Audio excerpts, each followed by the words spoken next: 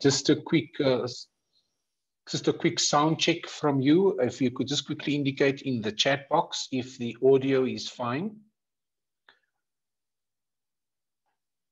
Thank you very much. I see replies. Um, also, just to, for quality of audio, some people sometimes do have difficulties with their audio, especially if they are on their um, mobile uh, cell phones or even on their desktop PCs.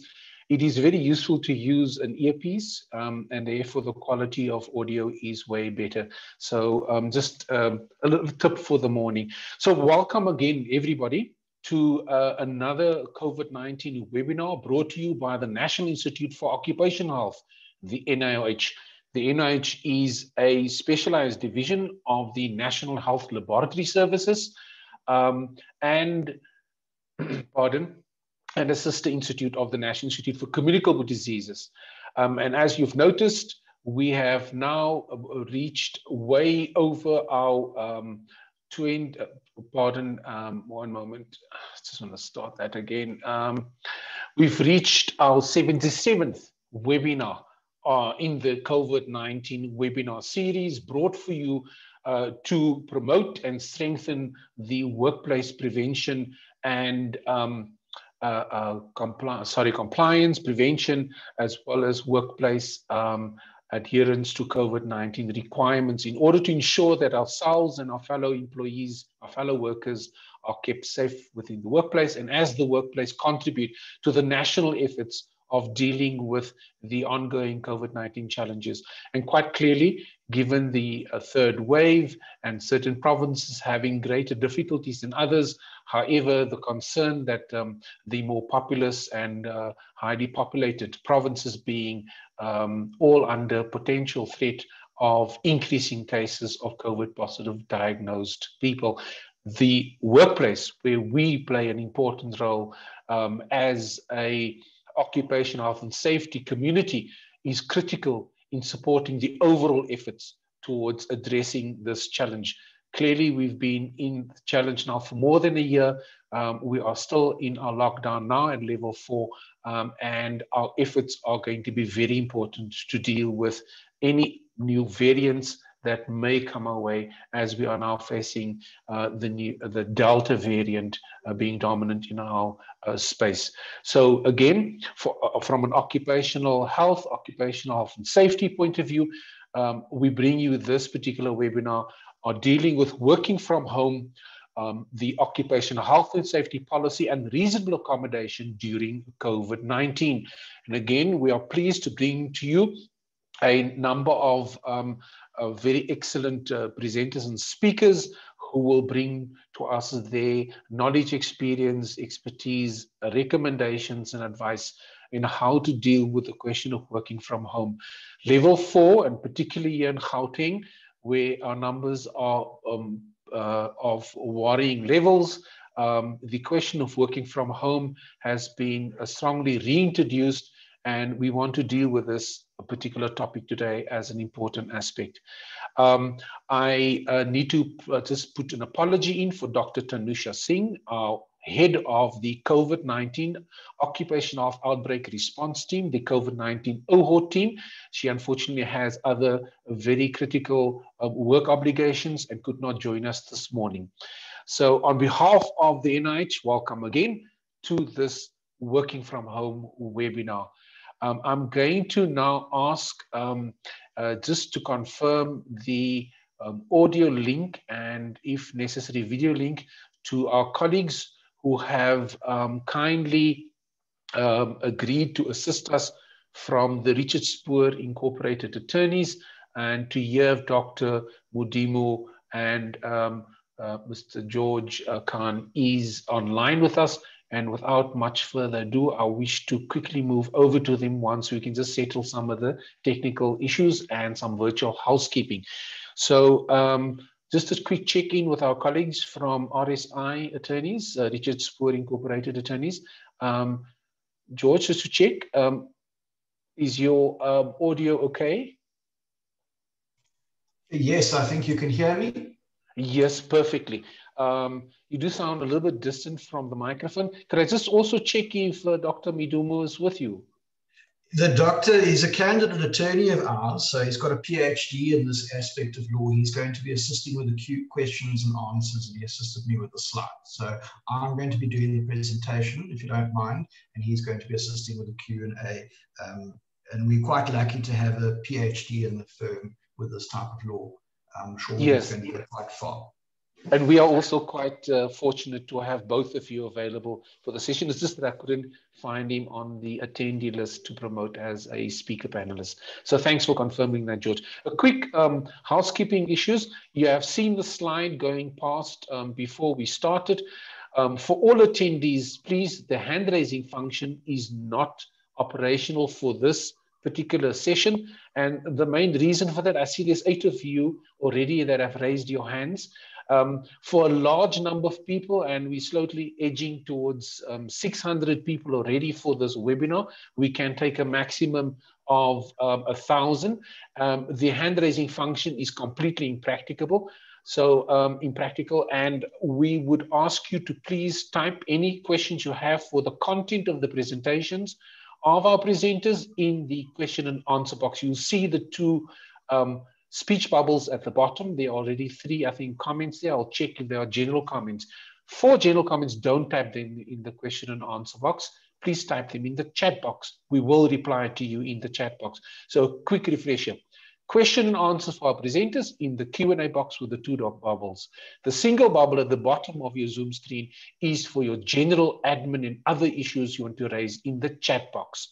We will greatly appreciate that. So I'm going to ask uh, Mandy Beckley, Frans Wimbrink, uh, S. van Rooy, Sidi uh, Ntsoe, Dion van der Vieren, Sonite Msomi, Joyce Kaud, Karen Holman, and Mandy, or well, Mandy I've mentioned already. Please just um, uh, deactivate your hand raised functions. We won't be able to assist you through that mechanism.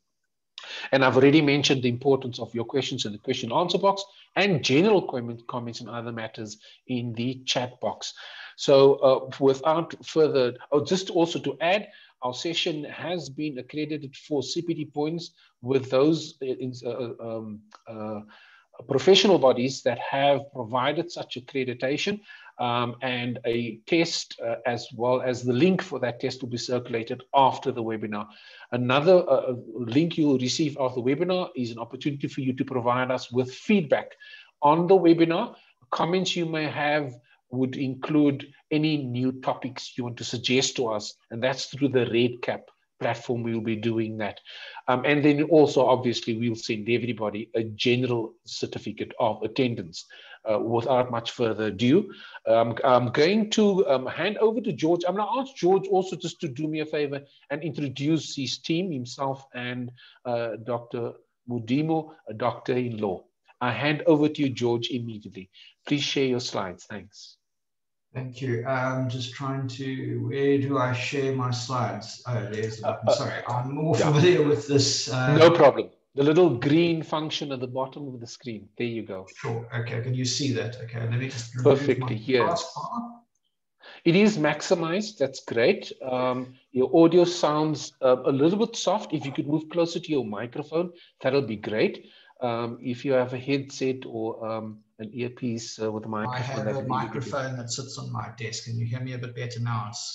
that sounds a little bit better. Maybe you could just raise the sound a bit, but we'll monitor it as you go along. I hand over to you. Um, uh, thank you very much. This is uh, George Khan, um, a senior associate at the Richard Spoor Incorporated Associates, RSI Associates, um, and we are happy to have them on our, our webinar again. I hand over to you immediately. Thank you, George. Thank you, and thank you to your listeners and the NIOH for providing this opportunity and this platform to us. Uh, we understand that we are required and requested to try and assist with some sort of introductory in terms of the question of work from home or WFH, if you will, and dealing with the legalities and the law that's relating to these issues. Um, if we can just proceed in terms of the agenda, what we're going to be talking about essentially is um, who we are. So I'm going to do a very short uh, explanation of who it is that we are. And the reason why that is very important, as I always allude to, is it's very important that you understand where the content of your information comes from. We live in an age of Facebook and YouTube, and it's very important that you get the right information from the right people. The NIOH is probably the best experts in the field in relation to these, these aspects. So you are obviously um, at the right place, and I'm preaching to the choir.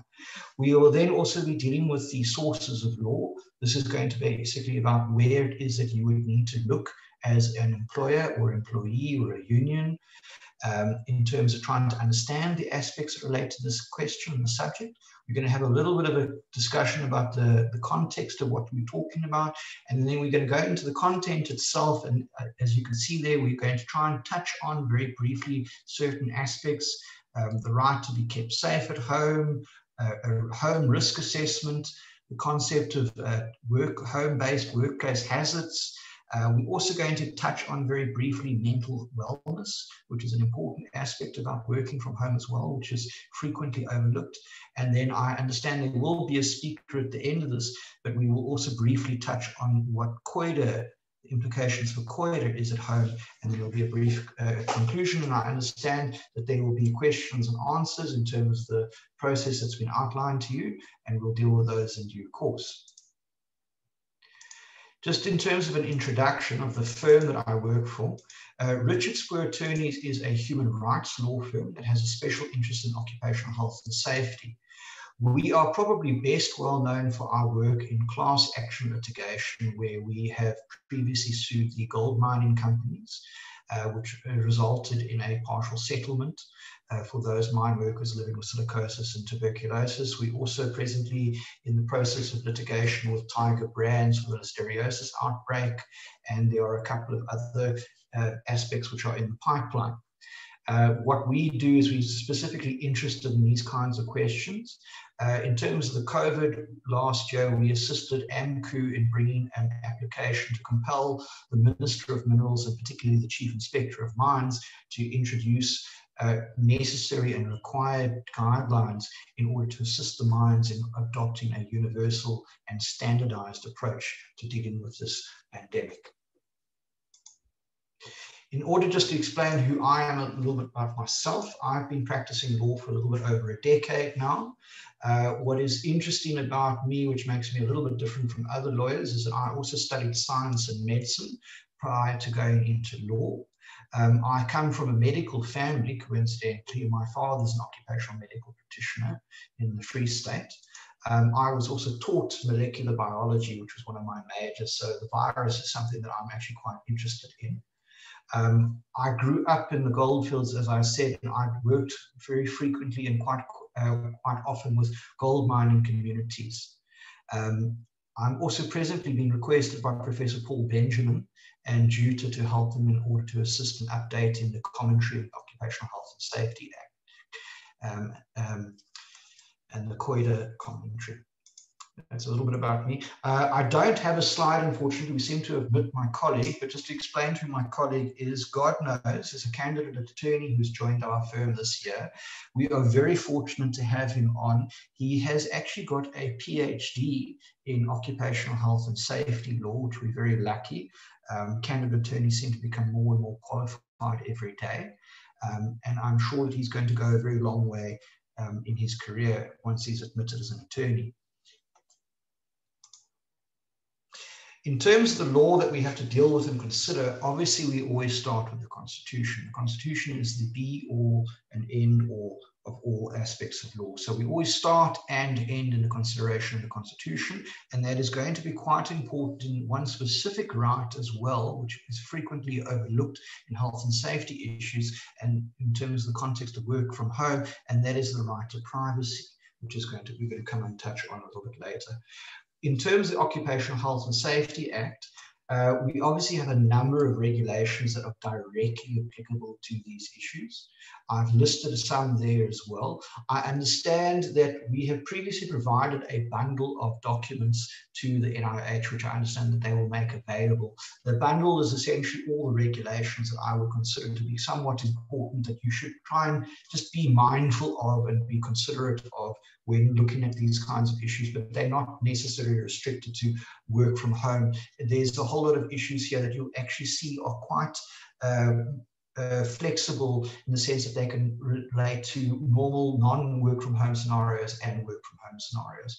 Uh, what is important to understand, and this is where I think everyone got a bit of a fright, is that the Occupational Health and Safety Act does not define a workplace which it has jurisdiction over as what you conventionally understand as a formal work It's not restricted to factory floor places or office blocks, that sort of thing. A workplace is essentially any place where work is done for the employer.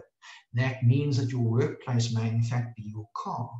It may in fact be your study at home. It might even be your kitchen where you are baking things for your local home industry.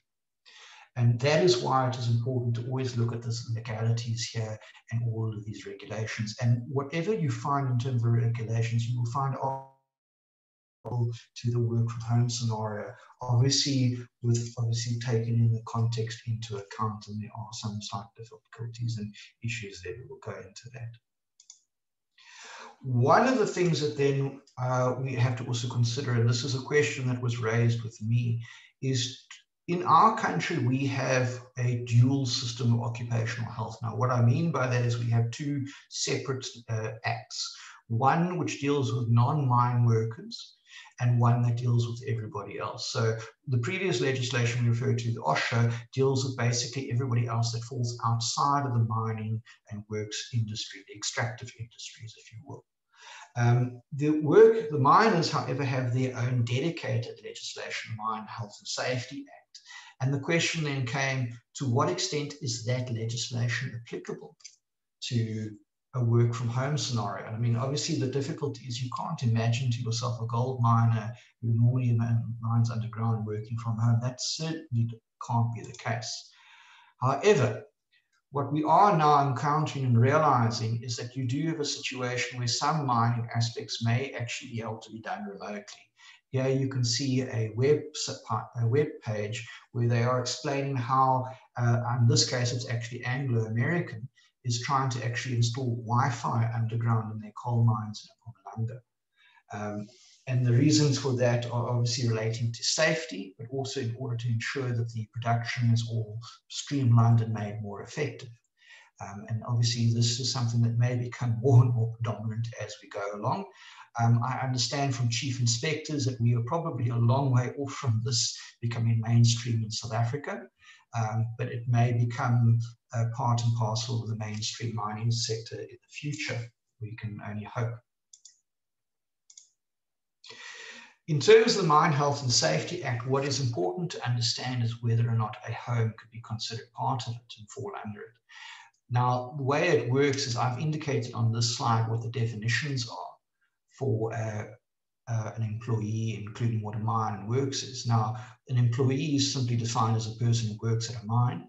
A mine is to, uh, defined as anyone who's working with a mineral deposit or in any mining area or mining building and structures and whatnot. And the works obviously includes any person who might also be dealing with um, repairing or training or um, electrical issues or IT and that sort of thing. So the definition is actually, although it's quite narrow and restricted in some ways, in many other ways it is quite broad.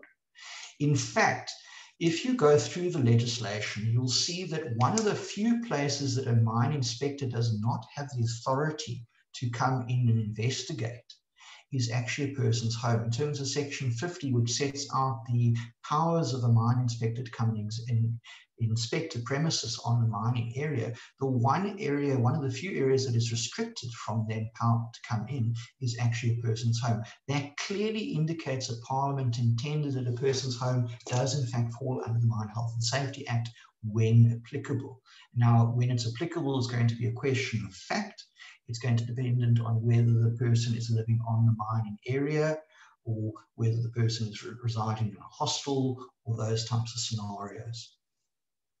Okay, and as you can also see, the Mine Health and Safety Act also has, in terms of its definitions, details that deal specifically with biological entities, which would obviously include um, COVID. And as I've indicated earlier, we assisted AMCU last year in getting the guidelines gazetted for the mandatory code of practice for COVID outbreak aspects. What is also important to understand in terms of the law with uh, work from home is that COIDA is implicated. Um, simply because you might be injured at home, you might, uh, for example, drown in the pool while doing your work. That does not mean simply because it's at home it falls outside of the scope of COIDA. The Compensation of Occupational Injuries and Diseases Act also defines any occupational disease and injury as something that happened and arose within the scope and course of a person's employment. That in itself is a very difficult concept, and we'll come to that in a bit. Obviously, then we also have all the other legislation that is relating to this, which is going to be applicable, including the UIF benefits, the maternity benefits and whatnot. And obviously, despite the fact that you are working from home, the basic conditions of Employment Act still are applicable. You are still entitled to your lunch break and you're still entitled to sick leave. Okay. What I just point out though for everyone is the fact that sick leave uh, when it is relating to an occupational disease, and that in itself has got a big question mark, but when we are accepting that it is an occupational disease or an injury, um, that does not take away from a person's sick leave benefit. So you can't remove sick leave from a person who's been diagnosed with an occupational injury or disease. Obviously, we then also have all the Disaster, Disaster Management Act um, regulations, and at this point in time, they are probably longer than the length of my arm. And it is very important to make sure that you keep up to date with the latest versions. Um, so it's no good looking at what was previously stated because you may find, in fact, find that those have been amended and are no longer applicable and things have been changed. It is, of course, helpful, in my opinion, to still have some consideration of the old stuff because it would give you sort of a sense of what is trying to be achieved and the purpose of trying to interpret what we have at the moment. What is also important to understand when considering sources of law is that the common law is still present and powerful in this regard and must be considered. You can't simply say that because it's not recorded in the Occupational Health and Safety Act or it's not recorded in the Mine Health and Safety Act, it doesn't, it's, it's not the law. That is not in fact the case. The common law in many regards is far broader than legislation. The legislation in many regards actually augments the legislation. Um, well, the legislation, beg your pardon, augments the common law, should I rather say. For example, the Mine Health and Safety Act has this statutory right to right to refuse dangerous work. You will not find a corresponding right under the OSHA. That does not mean that a factory worker does not have the same right. Their right is derived from the common law. Um, and in fact, the common law right to refuse dangerous work in some regards is actually broader than the statutory right that can be found in the Mine Health and Safety Act. And what I mean by that is the Mine Health and Safety Act requires the person to first witness the danger um, themselves directly and then exercise the right. Whereas in the common law, you may have a situation where it's not necessary for you to act person witness the danger if it is clearly present and is well known. So, for example, an invisible virus. Obviously, the way in which that is exercised, I'll come to in a moment, but it, it must be objectively exercised. I also do want to point out that despite everyone thinking that COIDA prevents an employee from suing their employer, which is correct in vast majority of cases, there are loopholes to that, meaning that if an employer uses uh, employees through a labor broker, the law is going to regard the labor broker as the employer of that person. And in the event that that person becomes sick or injured or dies, the principal, the company, would be liable and be able to be sued under the common law. So the common law there again is applicable. And there are actually instances where our courts have said that those individuals or those companies and entities can be held strictly liable um, by the employee or their dependents. It's not always a case of fault.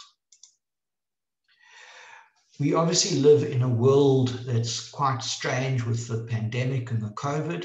And technology itself is changing the world that we live in. Here we have a newspaper headline indicating that medical surgeons are able to perform surgery using a cell phone technology. Um, we've already previously in the past had similar types of things in South Africa and Africa where surgery has been done remotely. this is one of the instances where we're now using a simple cell phone in order to do that. And we might eventually arrive upon a world where work from home is going to become far more commonplace. In actual fact, the International Labour Organization, and I provided their documents to the NIOH, which I understand they'll make available, has uh, prepared a document on this issue and this question. And what they do is they also do, uh, differentiate between the different types of work from home that you may find. So there are examples of telework, telecommuting, or remote working. And I understand that there are differences in terms of each of those. For our purposes, though, the differences aren't really important, and we're just going to put them all into one big category. What we need to understand, as I've, as I've indicated, is that this is what we are talking about. We're talking about a situation where we are now going to be moving more and more towards a remote working scenario. We're using technology. However, what is very important to understand is that this is not something which is new. The law has always been the case that you can work from home, and the law has always been applicable in these regards. And it's not something that is now suddenly arisen for the first time because we have Zoom or Teams. Um, these types of scenarios have arisen quite frequently. In this regard, what most of us think of when we think of work from home, I would imagine, is uh, what sometimes would refer to as professionals working from home. Um, there's a thing called the Paterson job grading. I'm sure the HR people are quite familiar with it. What it does is it differentiates all employees into different bands and different categories based on their level of qualification, the complexity of what they do. Um, this is typically used in order to ensure that people are paid correctly, but it is also a helpful way of trying to understand what how different types of jobs work compared to one another. So, for example, professional staff would typically be regarded in what would be called a D band or an E band or an F band, whereas you might in fact find some workers that are in the C or Bs, um, for example, uh, secretaries or data capturers. Now, what is important to understand is that we, although you may at first glance think to yourself that we're talking about work from home is relating to uh, managers and lawyers and those types of people that can, and architects that can clearly work from home. It's not a difficulty. They have a laptop, a computer, and they can do so. This is not necessarily the case. There's no restriction in this regard. In actual fact, you may find that a variety of different positions can work from home. In fact, some positions are required to work from home inherently. For example, a babysitter or a care worker or even a domestic worker. Their jobs would be somewhat strange if it wasn't based on a home basis. Of course, you do find that there are other individuals, and I think we've all encountered people who are within these categories that are working from home. So, for example, artisans and bakers are doing more and more what they do at home now than what they were doing previously in their sort of workplace that they previously had. And it is important to understand that each one of these categories is going to have their own unique uh, difficulties and challenges. For those of you who see this picture, I mean, what we all imagine to ourselves as a person working from home and looking all disgruntled and troubled, the person in this photograph is actually Daisy de Melker. For those of you that may remember, she was one of the first women in South Africa to be executed. She was known as the Black Widow. The reason why I put her on this is essentially she also was very famous because she was kept in the Constitutional Hill prison, uh, which is presently next to the Constitutional Court. That prison was designed around a concept of um, an all-looking eye, which was pioneered by Jeremy Bentham, the famous consequentialist philosopher, the end justifies the means. And that concept was also incorporated during Victorian England into what was previously known as workhouses, where an employees that would have to live in these workhouses and work from home um, essentially had to always be watched at all times. The reason why I raise this in a very, I admit, tangent manner is because one of the things that is very important to understand is that privacy is an important consideration that must be taken into account when working from home. Um, in this regard, you may be interested to know that Teams, for example, will allow an employee to track an employee, these types of things need to be taken into consideration when working from home. Health and safety does not negate these issues. And that becomes important when we go to the concept of risk assessments. Now, in terms of an employer's duties to the employee, we all know that an employer must do risk assessments. There is nothing that restricts that to a home situation, meaning that an employer must make sure that they are also making sure that their home situation is safe for an employee to continue and practice their work and conduct their employment. In a situation where they can't do so, and there might be a variety of reasons. The employer may need to intervene and try and rectify the situation within reason, or alternatively indicate that the employee may not continue with the work because they cannot assure that it is safe. Um, and it is very important to understand what we need to try and do is balance here as well the, the, the, the counteracting interests of health and safety, which would require an employee and a boss HR manager to come and witness the home site and concert themselves on the privacy of the employee that may be deeply uncomfortable with the type of situation.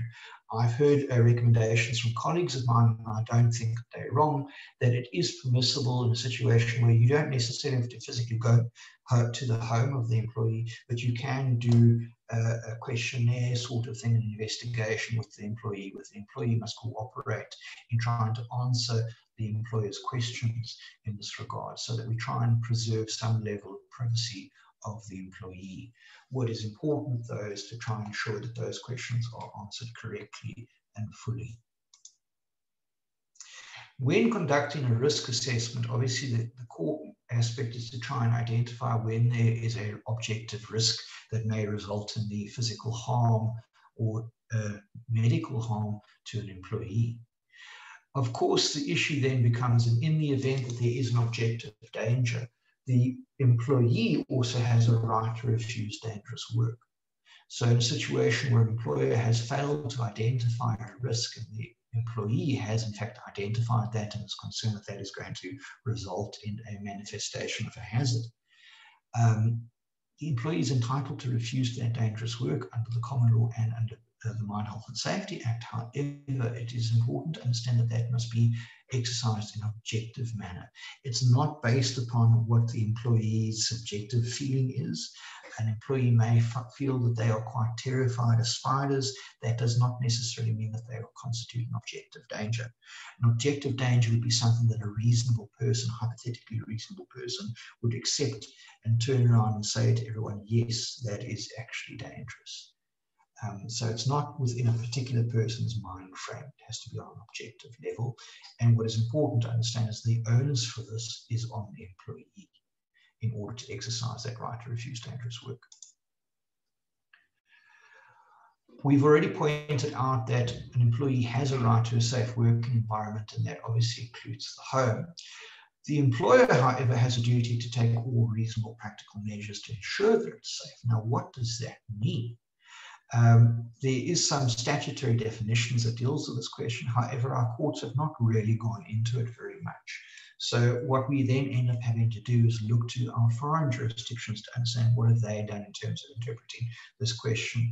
In this regard, we're quite fortunate that the United Kingdom has had this concept of reasonable practicability for almost a century, and their courts have been considering it quite frequently.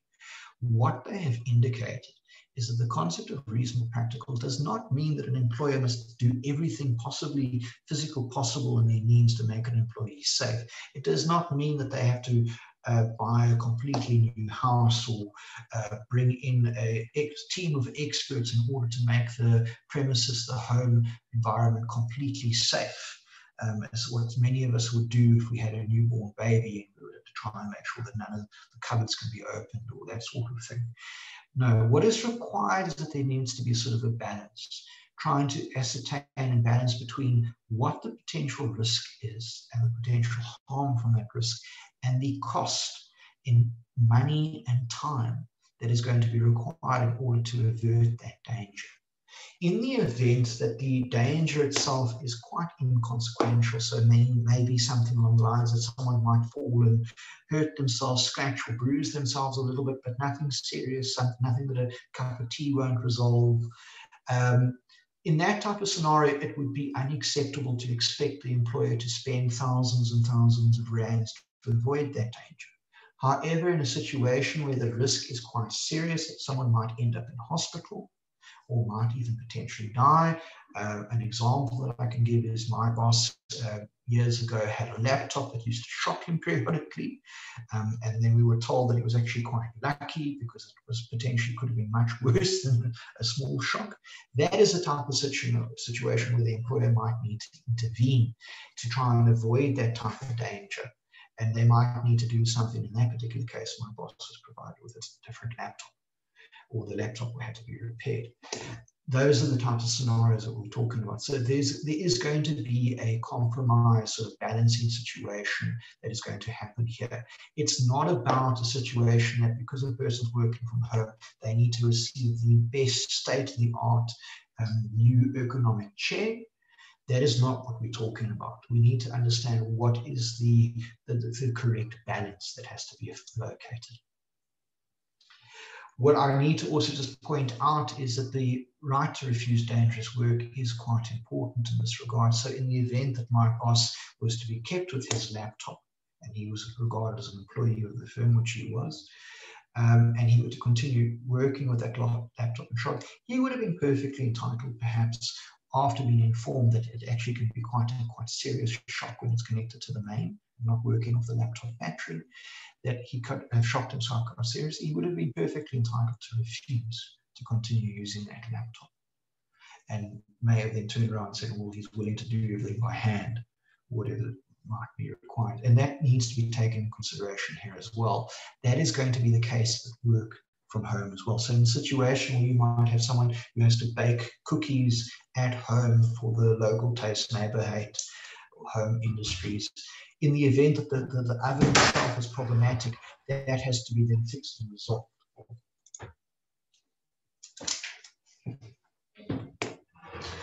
Um, what I think everyone is really interested to know in terms of this work from home scenario is can an employee insist that a COVID 19 positive employee continue working? And this is particularly the circumstances where the employee is asymptomatic, asymptomatic or possibly they only experience a minimal discomfort and impairment.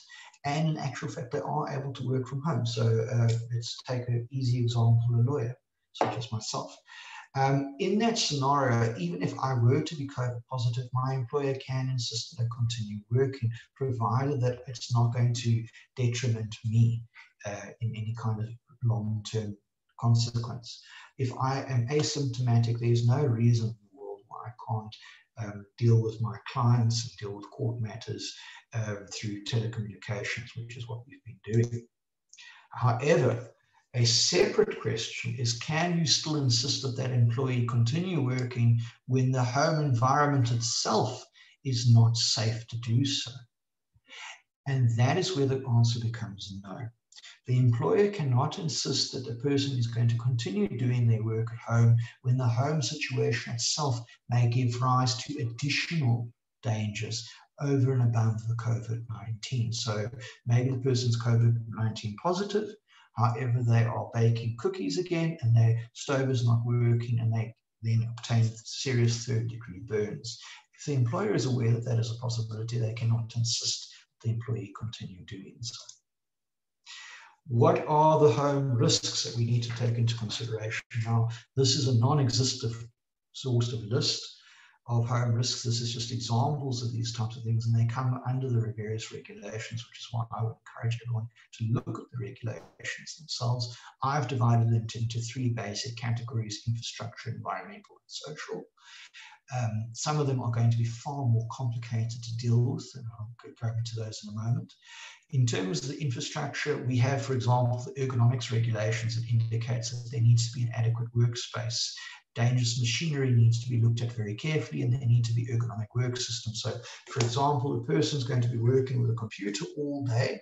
There may need to be take measures taken to ensure that that person with prolonged work in that environment is not going to develop medical complications such as carpal tunnel syndrome and those types of things. There are also important aspects that we need to consider, such as fire hazards if you're going to have someone working from cooking from home rather than cooking at your normal kitchen, in order to keep the, the work going, you might need to take into consideration, or you will have to take into consideration, things like fire equipment and potentially first aid kits. What is also important is to understand in terms of the infrastructure, we've pointed out privacy, but I mean, webcams is a big thing which people have come and asked me about.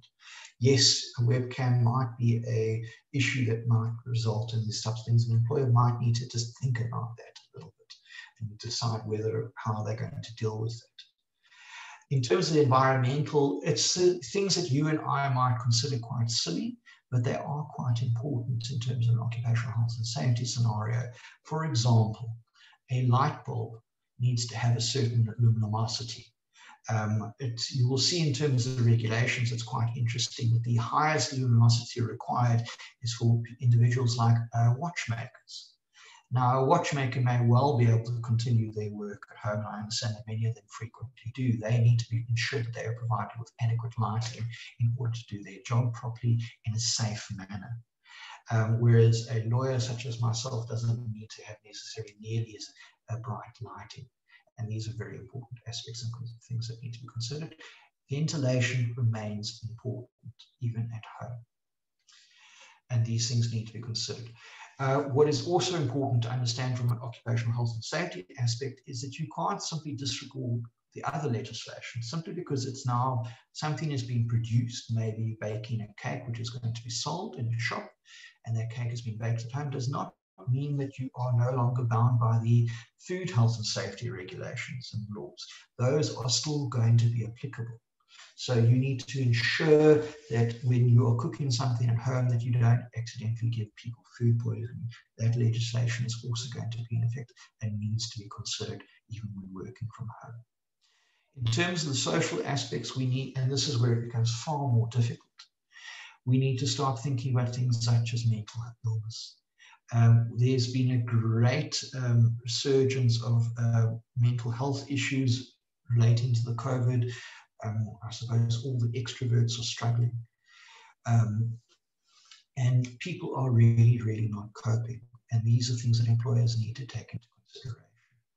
What is also very important is when asking an employee to work from home, they need to take into consideration whether that is going to be compatible with the neighborhood that the person is living in and the situation that they live in it would be quite problematic, for example, for a, a, liquor store owner, employer, to suggest that someone should maybe take the, the alcohol home with them so they can then sell the alcohol. Not only is that going to be legally permissible because you need particular liquor licenses in order to sell, but it also may cause other untold problems where people are going to become violent in a situation where liquor is being curtailed in terms of the regulations you may not sell, and people might in fact even break in and commit violence. These are things that need to be considered as well.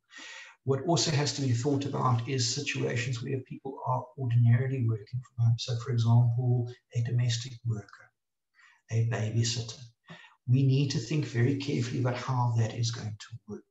If that can continue, or whether that can, and how, if it can continue, how is it going to continue? Those things need to be considered and thought about. And what is most important there is trying to minimize or eliminate the opportunity for social transmission of the disease. Domestic violence is probably the most problematic situation here, and I'm afraid there are no answers to this. There has been a um, increase in terms of domestic violence that we've incurred and I've encountered with the, curfews and the work from home scenarios.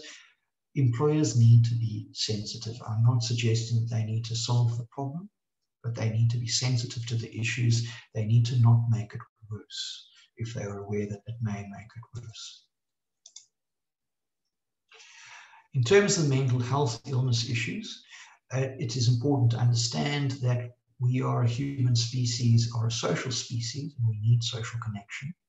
What is I find frequently interesting and important to understand is that when you look at uh, substance abuse experts, so uh, those dealing with drug addicts and alcoholics, they frequently explain, and I think this is a great, very, very wise and great deal of wisdom, is that the opposite of substance abuse is social connection. So when we don't get social connection, we slowly slide down into a difficult place. and we need to be mindful of that. Employers already have an obligation in order to check in on employees to make sure how they're doing with their COVID, whether there's any symptoms, uh, whether anyone is positive, so in order to report that. I would suggest and recommend that it is also important that at the same time to try and have a bit of interaction with the employees to make sure that they're doing okay, not just in terms of the COVID virus, but also mentally and emotionally they're, they're coping. And if it's necessary and if it's possible, to try and intervene and assist further if it becomes, if the employer realizes that there is a problem brewing. I would recommend, in fact, that larger organizations should encourage their HR and psychological services to try and make this a core mandate of theirs under this COVID pandemic. Now, obviously, this also requires a large amount of cooperation from the employee. Um, the employee is obligated under our local domestic laws, but as well in terms of our international laws, um, the, the Industrial Labour Organization, to assist uh, employers in terms of cooperating with them. As you can see, I've indicated in bold on this slide, Article 19A of the One Convention. It basically states that workers are obligated to cooperate with their employer to secure a safe and healthy environment working places. And that is also going to include the home environment. As I've indicated, obviously, we can be mature adults about this and try and work out ways of means to not embarrass anyone, to ensure that they are able to um, keep their privacy as much as possible. But what is foremost important is for the employer to ensure that the employee is safe we need to be mature about these types of things. And there may be ways to do it that you don't necessarily have to go and do a physical inspection. I think that would be a bit unreasonable in many circumstances. But the information must be imparted. The employer must consider the question and say it's fine or take remedial measures. Just to sort of um, end off, we need just to mention as well the COVID, the COIDA, uh, COIDA obviously has implications. Now, our Constitutional Court has already explained that if someone is injured or dies at home, and this is a particular case dealing with domestic workers, that is applicable to COIDA. So in this particular situation, this domestic worker drowned in an employer's pool while exercising her duties. That is a COIDA matter. Now, we are going to now probably expand and explode that into a variety of different situations, including the baker baking from home, the lawyer working from home, whatever it may be. And you're going to probably have a variety of different scenarios. What is going to be very difficult for us is to understand what is an occupational home injury or disease.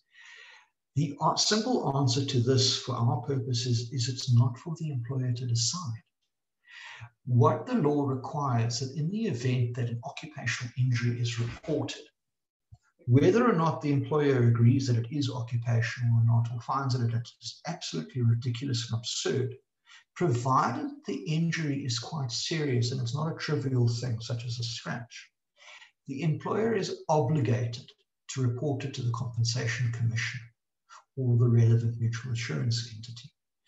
And the responsibility for deciding whether it is occupational or not then resides with the commissioner, not the employer. The employer is obligated to simply report it and provide all the information. And I suspect that we are going to find a number of situations and cases that are going to arise where we're going to develop this area of the law. What is important to understand is when thinking about what is what is occupational. Our courts have frequently grappled with this issue for a very, very long time. And they've realized that to answer the question, what arose within the scope and course of a person's employment doesn't have a blanket principle answer to. What must happen is that you need to deal with it on a case by case basis. So, for example, a situation may arise where someone is bitten by their dog. And you may think, well, that's certainly not going to be occupational.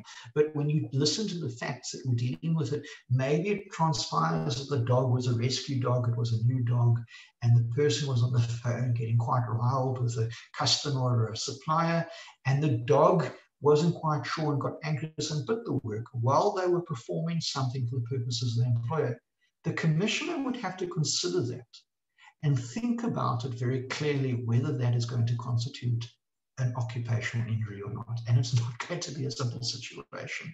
And I suspect that there are going to be cases where the dog bite is going to be maybe considered an occupational injury, and in some cases, no, it won't. So what is important to understand here is that it must be reported, regardless of how silly or ridiculous that you might think it is, and as regardless whether you have doubts whether the person was in fact providing a role, of providing performance for the employer. That will be for the commissioner to decide and assess based on the best available evidence. In conclusion, it remains the employer's responsibility to conduct a risk assessment at all workplaces, which includes the home. All employees have a right to a safe work environment, which includes a home work environment but they also are entitled to the right to privacy, which means that there needs to be a balancing act and cooperation in this regard. The responsibility, however, of keeping the employee safe at home continues to be a joint responsibility between the employee. I want to echo again the importance of mental illness and again to just emphasize the fact that occupational injuries that are a result from working at home do still fall deployed. Thank you very much. Thank you very much. That was uh, George Khan, um, supported by his colleague, uh, Dr. G. Mudimu, uh, who's a, a, PhD in law. I'm going to um, just quickly confirm live uh, with uh, Dr. Jan Lapere if it's okay that I ask the representatives of the Department of Employment and Labor, that's Mr. Tibor Szana and Ms. Millie Reiters, if they could perhaps comment with this. Is it okay? Thank you. Thank you, Dr. Lapere.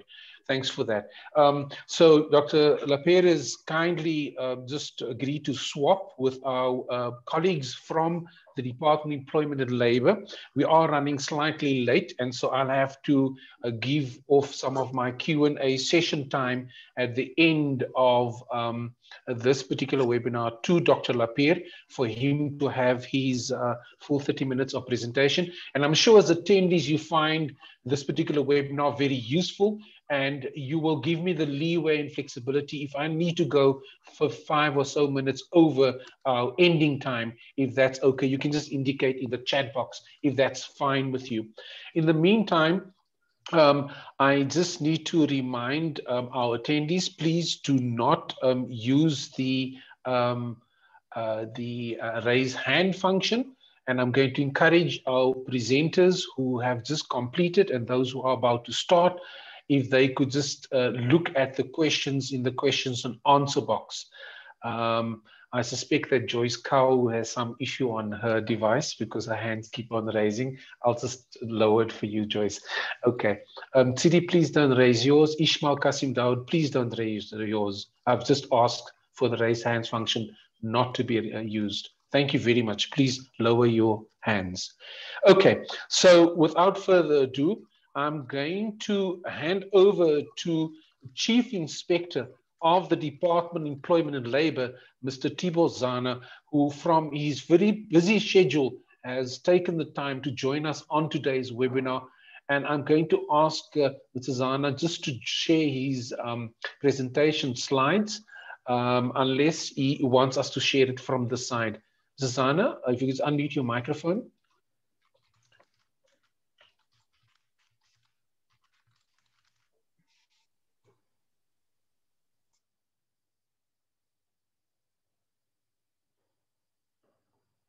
Okay. Um, just want to check, is Mr. Tibo Szana there? Um, I see that both Mr. Szana and Ms. Billy Reiters, um, yes, they, I see you've unmuted your microphone, Mrs. Szana. Um, are you ready just to share your slides, sir? Having a bit of a problem uh, from my side with regard to that. Even um, the okay. uh, the mic now was a problem for me to unrelease. Yes. Would you prefer us to share the slides from our side? I would prefer it. Thank you. And then you could just indicate next slide to my colleague Glenn. Um, so let me just double check if I could maybe do it from my side before Glenn does that. Um,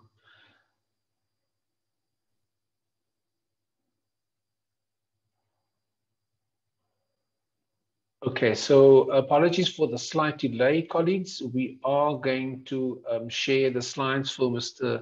Tibor Szana, and I'm just clicking here in the right boxes to find that um, that particular slide. One second. So.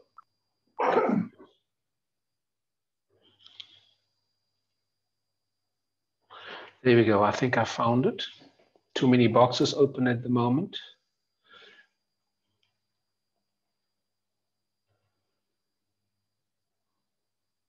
Okay.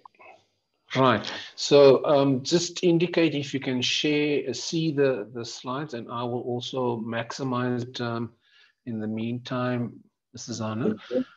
Visible? Uh, it's visible. Okay. Do you see the full slides? And you can indicate to me um, next slide, and I'll move it for you. I hand over to Mr. Tibor Szana. Thank you very much uh, again for joining us today. Uh, Program Director, thank you very much for having us. I think uh, this is one of those interesting topics that um, we definitely would like to see developed over the next uh, period of time. Uh, if we can go into the next slide, I'm basically going to be looking purely at the Occupational Health and Safety Act. And the reason for that is uh, the time that's allocated obviously would not be enough for us to do a detailed presentation. I did uh, enjoy the presentation of your uh, previous speaker, and I think it's relevant that we engage uh, in these sort of discussions to start refining the process. Now, from the Department of Employment and Labor side, we have uh, been working with compensation as well as the ILO in order to develop this particular issue so that we can uh, put out put into the workplace the necessary policies and, and so on. So this is under discussion and we are working uh, towards uh, finalizing these things. The next slide, Chair. So I do take it that there will be some duplications, obviously, with regard to what was discussed, and there's no doubt about that. My legislation won't cover issues around what an employee is in terms of the BCA. I'm going to look purely at the Occupational Health and Safety Act. And um, bear with me uh, in terms of some of the duplications and obviously, I'm not going to cover it in the detail that um, might be anticipated. So an employee, very simply then, is any person who is employed by or works for an employer and who receives or is entitled to receive any remuneration or works under the direction or supervision of an employer or any other person.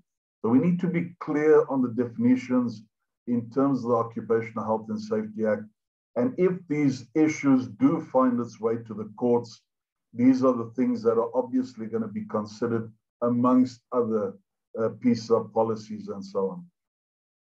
Employer then means subject to the provisions of subsection 2 any person who employs or provides work for any person and remunerates that person or expressly or tacitly undertakes to remunerate them. So the employee-employer relationship has to be clear in terms of who is going to be affected and why they are, uh, are, are being affected. Employment means employed, or employment means employment or employed as an employee. Next slide. And you can see I've taken all the relevant uh, components out.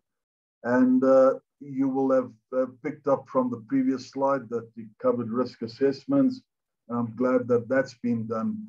Hazard uh, means any source of exposure to danger. So whatever's happening around you, let's say within a home environment, these definitions are going to become quite crucial. Health and safety equipments mean any article or part thereof which is manufactured, provided, or installed in the interest of the health or safety of any person. Healthy means free from illness or injury attributable to occupational causes. An incident means any incident contemplated in section 24.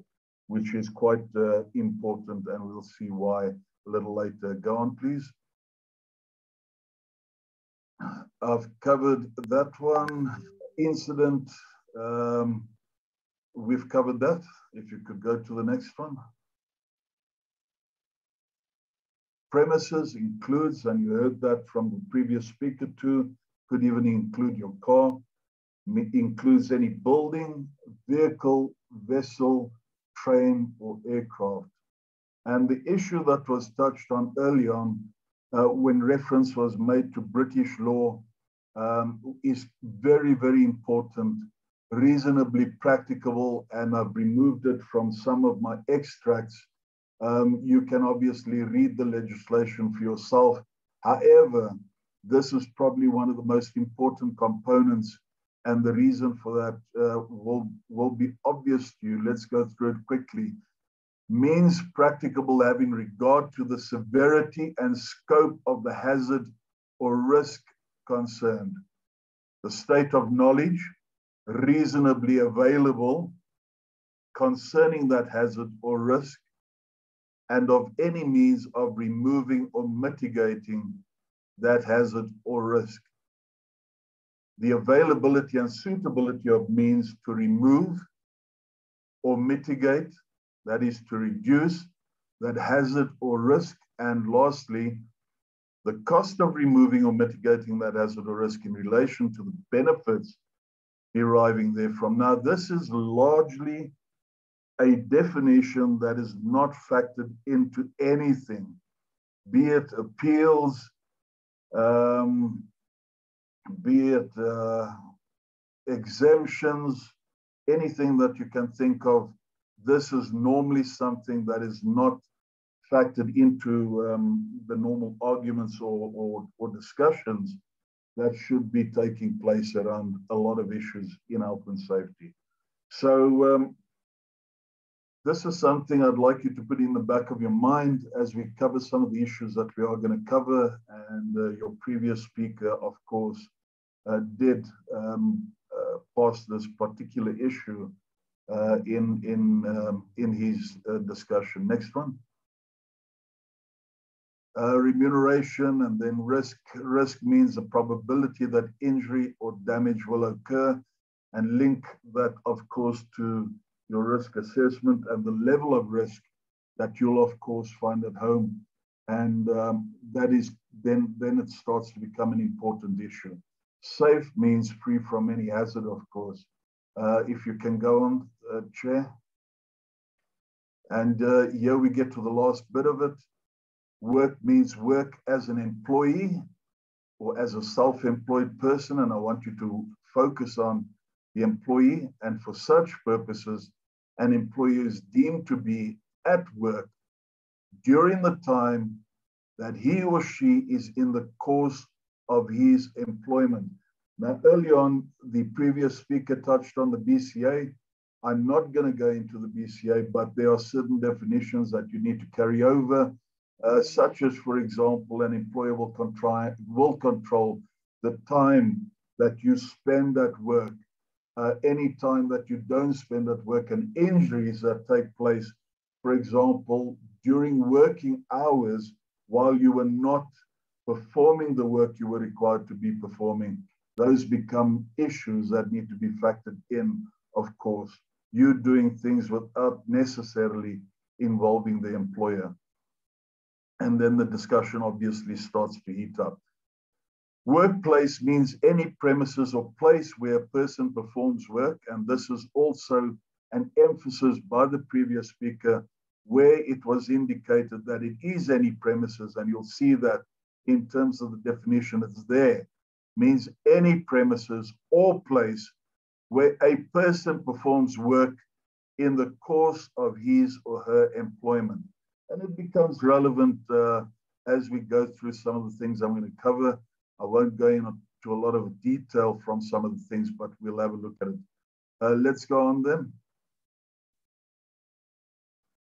Um, I'm just bringing uh, this particular matter to your attention uh, in relation to listed work. Uh, of course, the current Occupational Health and Safety Act 85 of 93 uh, does um, is out currently as a bill, and the time frame for responses is the end of July, um, where comments should be forwarded to myself for consideration. However, uh, there is an area in the Act that could possibly uh, link working from home, and that is Section 11 and 12, which refers to listed work, and Section 1 sub 2 does cover that aspect. Just uh, for your attention, nothing else. Chair, carry on. Section 8 then, every employee shall provide and maintain, and you have to be aware of. Remember that uh, for some people, this is deemed to be a new setup. And while that is the case for some people, for others, this is not necessarily a new environment. Some people have been working from home um, already for quite some time, not even as a result of the pandemic, but as a result of um, agreements between them and the employers. However, it is the first time at the scale of what we are doing it currently that this has not, um, um, it is now obviously requiring our attention because it has the impact of affecting law as we understand it or the normal uh, side of, of, of what we understand as things being the norm. So uh, over here, you see reasonably practicable. And I want you to, I want to take you back. Every employer shall provide and maintain. It's not just a case of providing, it's a case of also making sure that they do cater for um, the future, the current and the future in relation to health and safety as far as is reasonably practicable, remember how we were looking at the definition, a working environment that is safe and without risk. And we've looked at the definitions there to the health and safety of employees. Now, we cannot get away from this. We, we are not going to go home and happily uh, carry on our activities as per what we have normally been doing. And I don't want to want you to be under a false impression that uh, when you go home and you've been allowed to work at home, that you're going to uh, carry on as if um, nothing has changed. There is going to be a consideration, and you are going to have to um, modify your lifestyles to some extent with regard to what is captured in the Occupational Health and Safety Act. Remember, there are 22 regulations while all of them are not necessarily applicable uh, in any one or all of your homes necessarily, some of them will definitely be applicable um, uh, directly, of course. Um, next slide.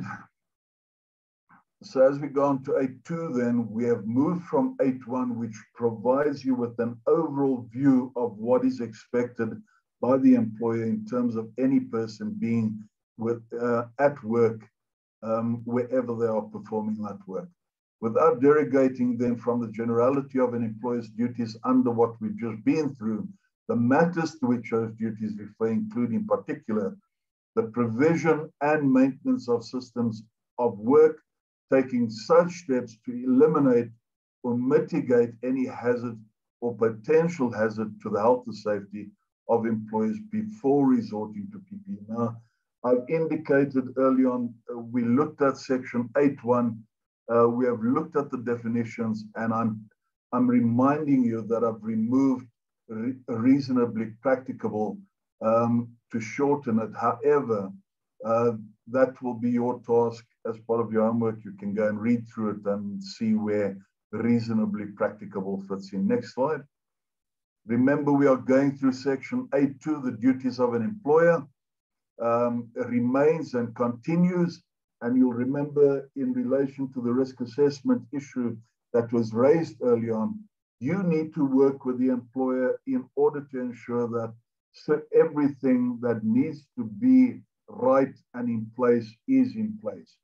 Establishing what hazards to the health and safety of persons are attached to any work which is performed in his business, and he shall further establish what precautionary measures should be taken with respect to such work in order to protect the health and safety of persons and shall provide the necessary means. Now, of course, there is going to be a certain amount of um, uh, handholding that's going to take place, and we are all going to um, uh, be walking the distance in relation to what does this new requirement require from us. Um, can the employer provide everything that is required to provide a safe and healthy work environment? We heard already from the legal side that that would be impractical. So if it is impracticable uh, or impractical, to what extent will the court go in finding that that uh, impractical uh, side of things uh, was in fact, um, uh, it, it required modification in terms of the way we think of, of things as being practical. So there is still a duty, of course, to establish what those hazards are, to establish what precautionary measures should be taken. And then there must be something that says, um, this is how we are going to, of course, deal with those issues. And together we're going to have to walk uh, that distance. So the employee, uh, given the new circumstances, all of us, including those employees, are going to learn from each other what exactly this new environment is. And in some cases, of course, we are going to learn the hard way. Uh, providing such information, which is what the employer can do, instructions and training. And uh, of course, the, the, the, last part of it is uh, what form will supervision take in relation to you working from home? Because of uh, naturally, uh, working from home doesn't mean that you're not going to be supervised in terms of the performance of the work that you're required to perform and we'll see that there are other aspects that relate to it. So the, uh, the employer is going to try and obviously um, uh, assist you in making it easier for you to operate in an environment at your own, uh, obviously at the employer's expense, because even changing the way that you have been doing your business is going to come at a cost. So we, we will naturally look at how this is being done and uh, look at how we can influence these things uh, across the board. Not permitting any employee to do any work unless, of course, those precautionary measures are uh, followed. Uh, next slide, Chair. Um, and then the employer furthermore is required to take all necessary measures to ensure that the requirements of this act are complied with by every person in his or her employment or on premises under his control. And that part I'm not going to uh, focus on, but by every person in, in his employment. So taking all the necessary measures to ensure that the requirements of the Act are complied with. Now, in order to do that, the employer would need to work with you as an employee in your so-called new work environment in order to address the matter.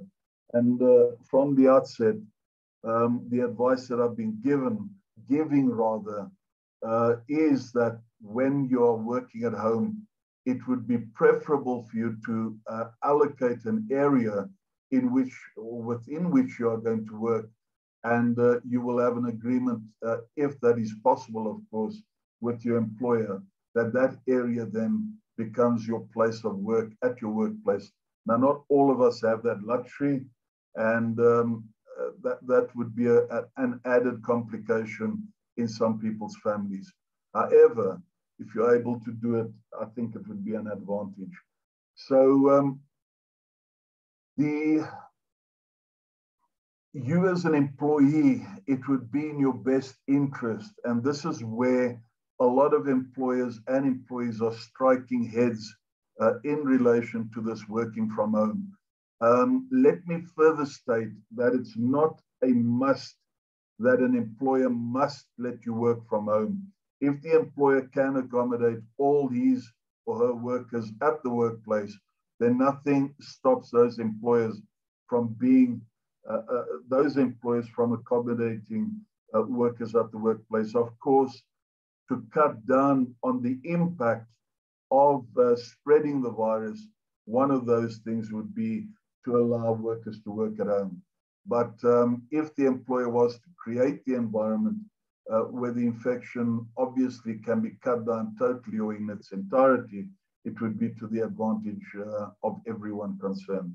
So uh, let's say, as we have agreed up to now that the employer does allow you to work at home, then uh, you have to then, in my opinion, come and meet the, the employer halfway in order to allow the employer uh, to do what is required in terms of the law, because at the end of the day, the employer still carries the can in terms of the, the Occupational Health and Safety Act for ensuring that you are in an environment that is healthy and safe um, in terms of how the, uh, the Occupational Health and Safety Act is structured.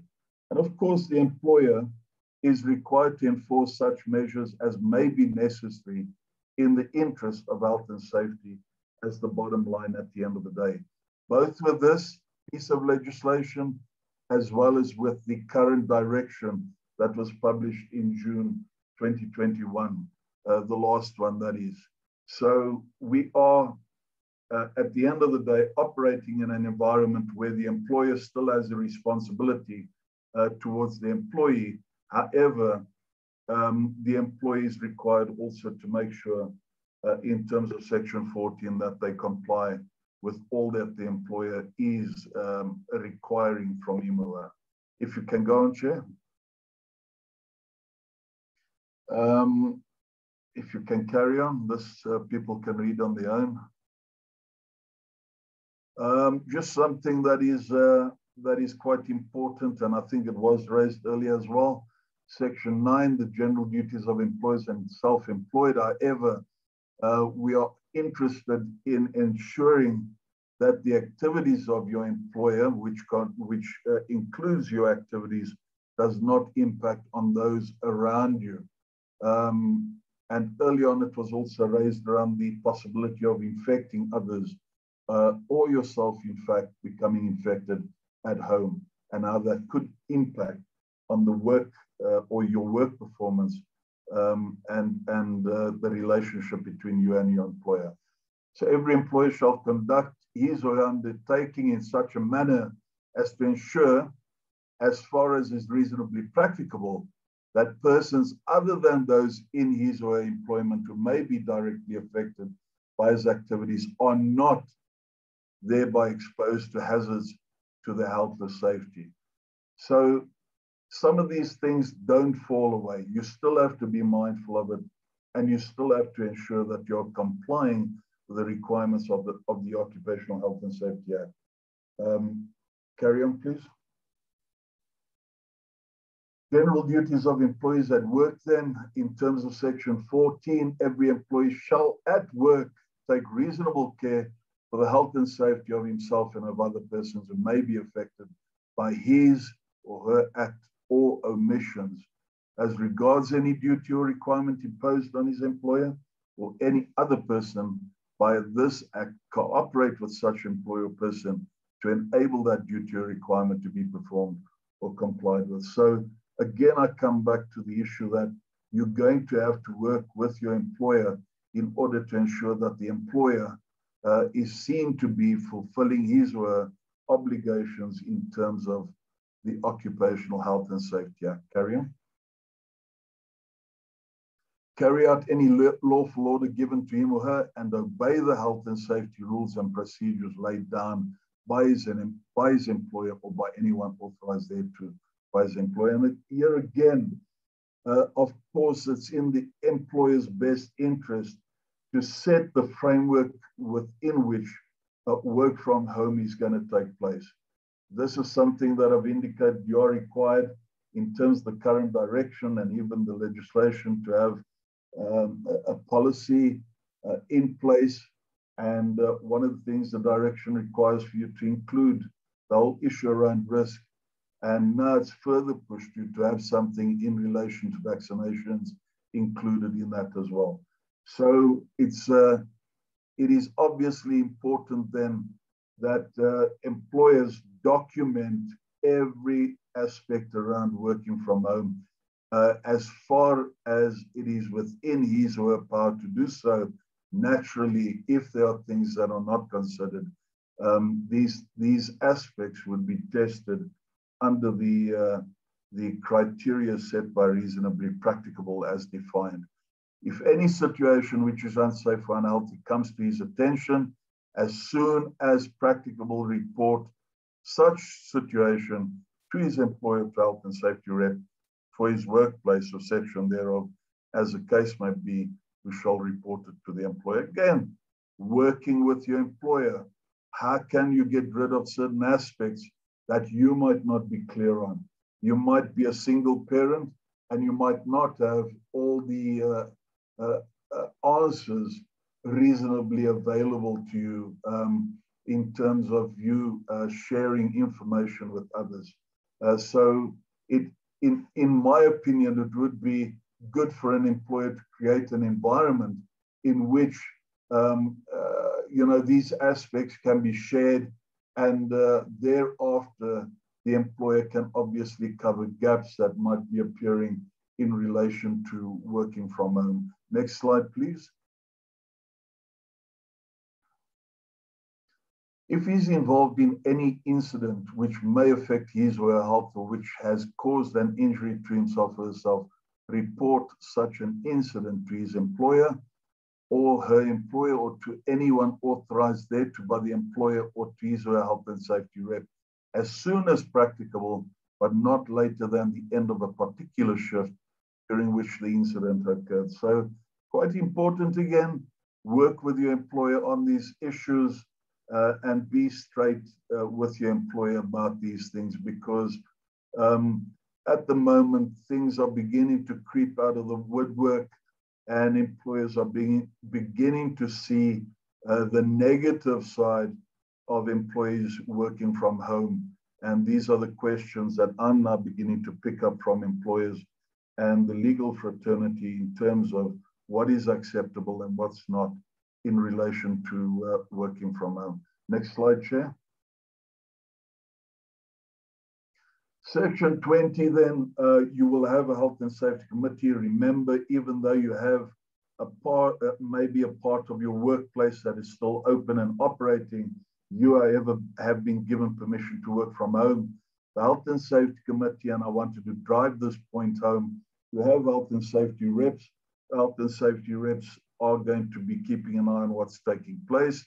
And then the Health and Safety Committee is not exempt. Of course, you will notice that the uh, current direction refers, refers back to or reverts to the Health and Safety Committee, the Health and Safety representatives, as well as organized labor or your trade unions uh, that ought to get involved in certain respects with regard to uh, health and safety acts, health and safety activities. So uh, I've tried to highlight the important point here, your health and safety committee, and in uh, a number of instances, in terms of our inspections that we are having, we are still finding employers that do not have active health and safety structures at their workplaces.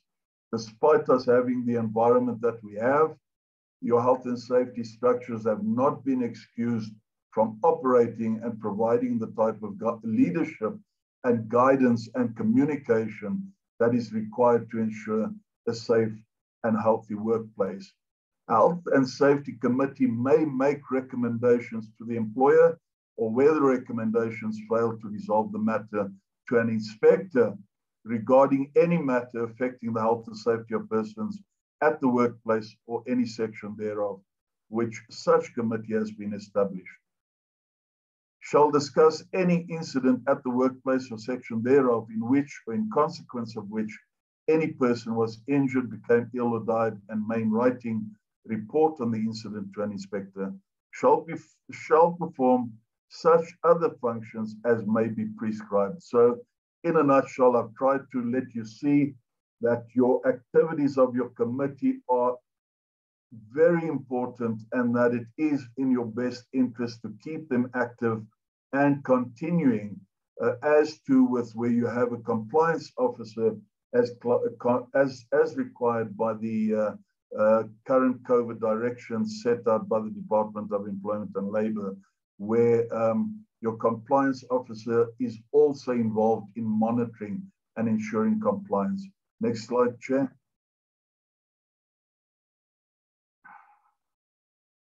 Um, so in terms of section 24, uh, you'll notice all these activities that are highlighted, the type of injuries that could take place. Next slide, Chair. Next slide, Chair. And then you see that sub two also refers, uh, taking you from 24.1, 24.2. Uh, next slide, Chair. The uh, people can read through this on their own. I'm sure they're aware of it. Next slide. Uh, and then we get to the part in the act that talks uh, to the following aspect.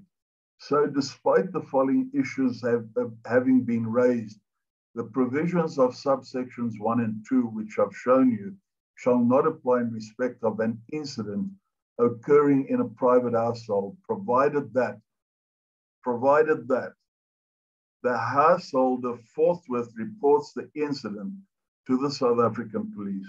So by inference, this is looking at um, house uh, or home-related activities that could be reported but uh, instead of you reporting it in this case to the directly to the Department of Employment and Labor, uh, you go to the South African police because there's a fatality or whatever the case is.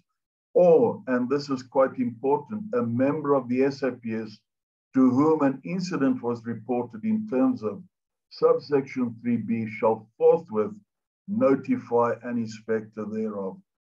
So this is quite important that obviously the SAPS needs to be uh, needs to ensure that when issues get reported, that they also get reported directly to um, the inspector immediately. So uh, what I'm saying to you today is we are going to amend the bill to make it that you report directly um, um, uh, that there are incidents that you report directly uh, within your home environment uh, where there's a, a, um, a workplace related injury of whatever sort. Given that the domestic workers are now included in COIDA, they were never excluded from the Occupational Health and Safety Act, but we'll make sure that we uh, clearly indicate that you need to report those issues now going forward. Go forward, please. Um, so this is just section 31 in terms of incident investigations. I'm not going to go into it. Chair, if you can move on. And then uh, as I get to the end of my presentation then, Chair, I just want to remind um, the, the attendees of the following. The health and the existing structures that are required to operate will continue operating. I have not touched on uh, the legislation uh, uh, in the details that would be required. And I'm glad that the previous speaker, from a legal point, did. your ergonomic side, of course, is quite an important area, and we'll provide guidance and leadership on that. Uh, there is a guide note out with that document that can assist you as well. And uh, when you're looking at um, anything that relates to psychological matters, that is included in the ergonomics regulations. And of course, it's a factor that we'll look at um, and provide the necessary guidance on in the detail required going forward. However, with the publication of our first ergonomics regulations, we have set the foundation uh, for um, uh, employers and employees uh, at the workplace, and we will uh, we will continue uh, growing that area moving forward. Um, the existing structures, uh, as I pointed out to you, please make sure that they're operating fully and it's the employer's duty to make sure that they are doing what is required of them uh, under the current circumstances. While they're not involved in uh, providing guidance and offering uh, recommendations to the employer, this is a major problem, I would imagine, and it's something that you need to address. Next slide, please. Consent of employees and the legality of that consent. Of course, uh, we all know that uh, this particular way that we are working is up in the air uh, with a little bit of uh, um, um, legal footprint that we have in this area. Uh, we will obviously look at the courts developing that matter even further. Uh, we have heard earlier that the the the courts itself uh, take each case on its merits, and therefore it would be important that uh, that we see how this develops over time going forward. Um, are we stretch, stretching things a bit legally? Uh, that remains to be seen, and obviously a law uh, grows over time. It's not something that is uh, that is there and uh, we have the luxury of going to it and, and relying on it. We, we obviously uh, rely on the legal uh, knowledge of those around us to provide us with the necessary um, uh, leadership and guidance.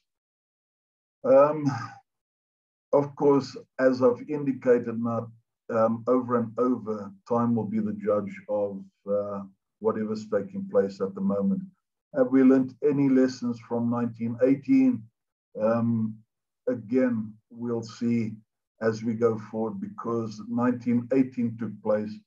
And when 2020 came around, it was like a surprise to all of us, despite uh, some of the activities that have been um, in play globally since 2016 around these issues.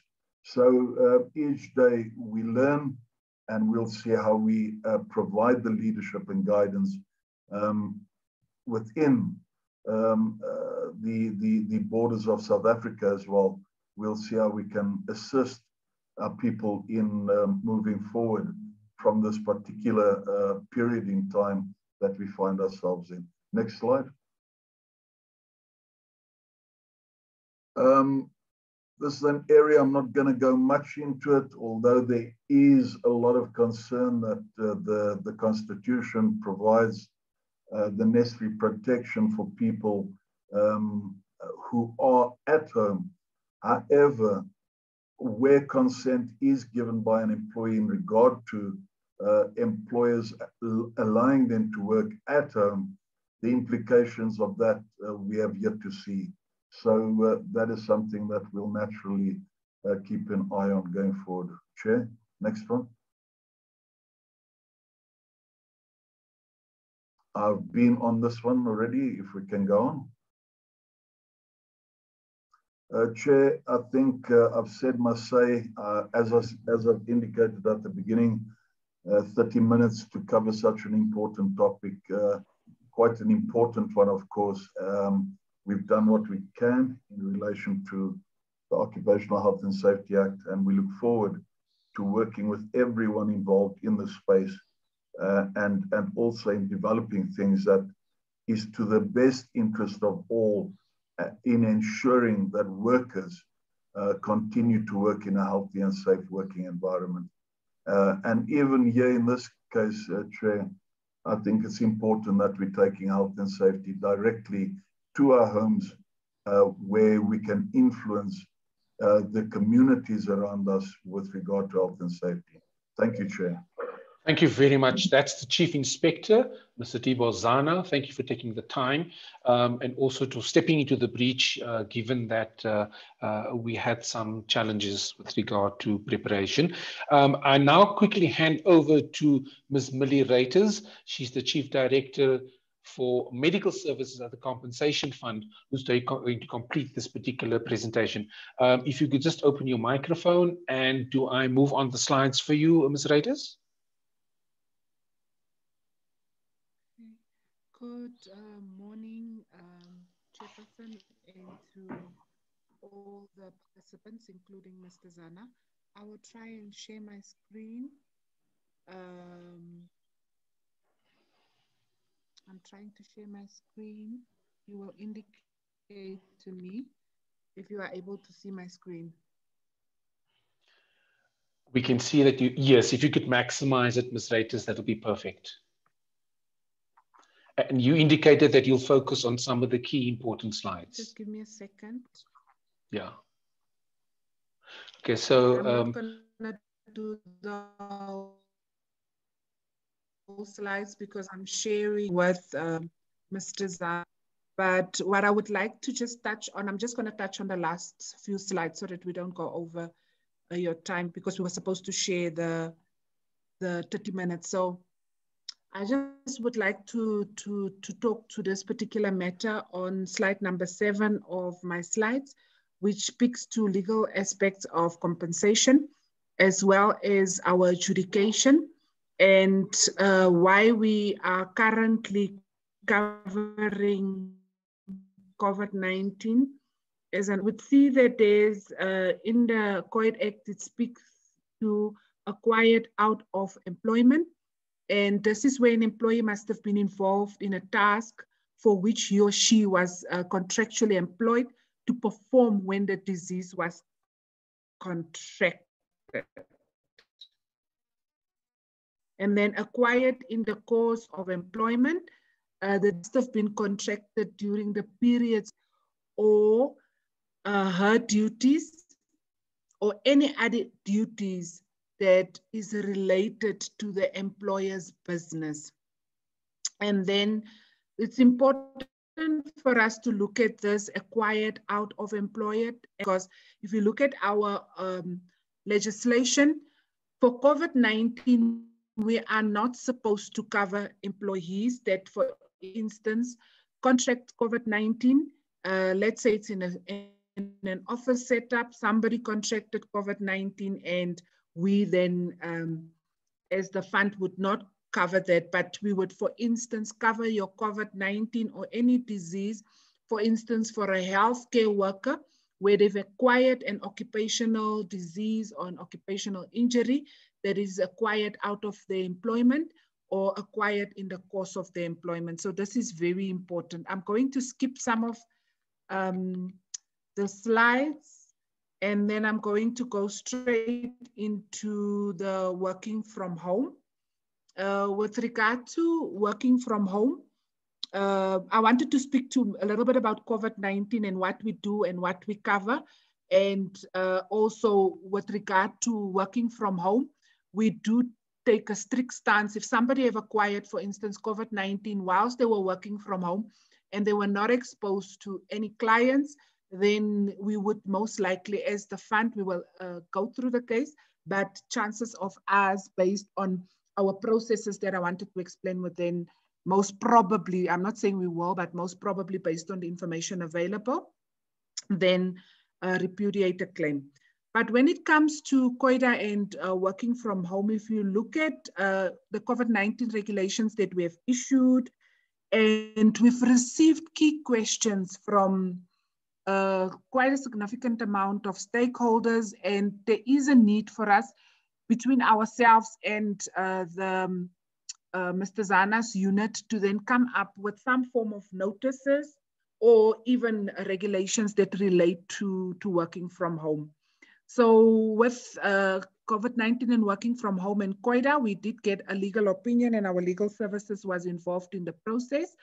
So um, our act currently does not have a def definition of a workplace. And uh, therefore, we rely on the Occupational Health and Safety Act and we utilize the, their definition of, of, a, of a workplace. So the question that has been asked is, what constitutes a workplace? And uh, will we then, as the compensation fund, cover um, occupational and diseases acquired whilst working from home? So Mr. Szana did speak to section one, and where uh, workplace is any premises or place where it says any premises or place where a person performs work in the course of his or her employment Remember what I said up there with regard to in the course of employment. And then the employee, uh, then they are working from home.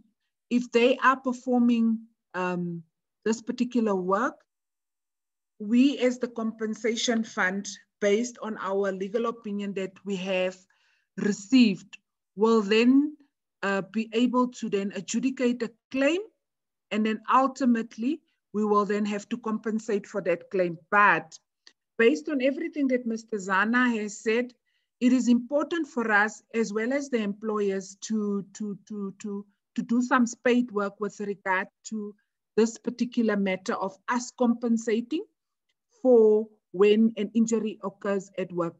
And there is duties of the employer, but there's also duties of the employee.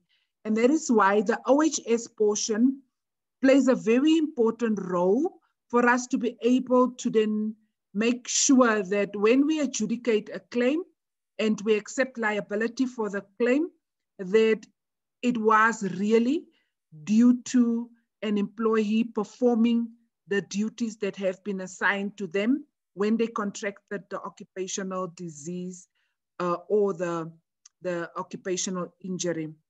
Therefore, a workplace is deemed to be a place when employees performing work which is in the course of his and her employment, and therefore the work from home is deemed as a workplace if the employee performs his or her work in the course of his and her employment. Therefore, an employer can then submit a claim through to the compensation fund, but it's in order for us to then finally make a decision on it on this particular claim and to accept liability, there is some work that needs to be done from the inspectorate. The challenge that uh, we have, and I think Mr. Szana has also alluded to this particular one, is that the inspectorate, uh, when it comes to entering a home in terms of uh, section 27, uh, section 24, uh, they, they, they, they, they cannot just access a private household and therefore the incident must be reported to the SAPS uh, and uh, the, um, the inspector then subsequently needs to be informed and this might pose a bit of a challenge uh, because for us, we would then need the inspector to be actively involved in the cases where we need to adjudicate on a claim, ultimately pay medical expenses, compensation benefits related to injuries and diseases contracted um, at work. And um, because of time constraints, I'm not going into too much detail because uh, I think we've taken up more than the minutes between Ms. Szana and myself. So as a way forward, uh, with regard to COVID-19 post the national state of disaster, as indicated, we've made a special concession where we are covering COVID-19 uh, even if it's not in the in the in the course of their employment, but if there is a contact that is traced in the in the employment or in the workplace, then we are currently covering uh, COVID-19. Uh, but post the national state of disaster, we we would then revert back to our direction will then not be applicable anymore, the direction that was signed by the, the minister. And we would then, for instance, not cover COVID-19, but there are talks between us and organized business, organized labor looking into this particular matter. Then with regard to um, the regulations for work from home, uh, that it is important that between the IES inspectorate and all the relevant key role players, even at a level of organized business, organized labor, and maybe academia, we need to be able to finalize regulations or notices related to this particular matter. So with that said, uh, Chair, I tried to just get the gist of the compensation fund that um, currently we, an employer can send through a claim for somebody that worked from home that contracted an occupational injury or disease. But when it comes to our adjudication, it is going to be a bit difficult if it's not clear cut and we are going to need the assistance of the inspectorate. Thank you, Chairperson. Thank you very much. That was Ms. Millie Reiters, the Chief Directorate for um, um, medical services at the compensation fund and thank you very much also for availing yourself at the very last minute to join us today i understand that your time is pressed but we will look forward to uh, future updates, if that's okay with yourself and the Chief Inspector to join us again. Ms. Reiters, thank you very much for your uh, contribution. Okay, so now I'm going to, without much further ado, hand over to Dr. Jan Lapere, who's going to speak on the employer-employee duties with regard to occupational health and safety in the working from home scenario. Um, I'm going to immediately hand over to Dr. Lapere.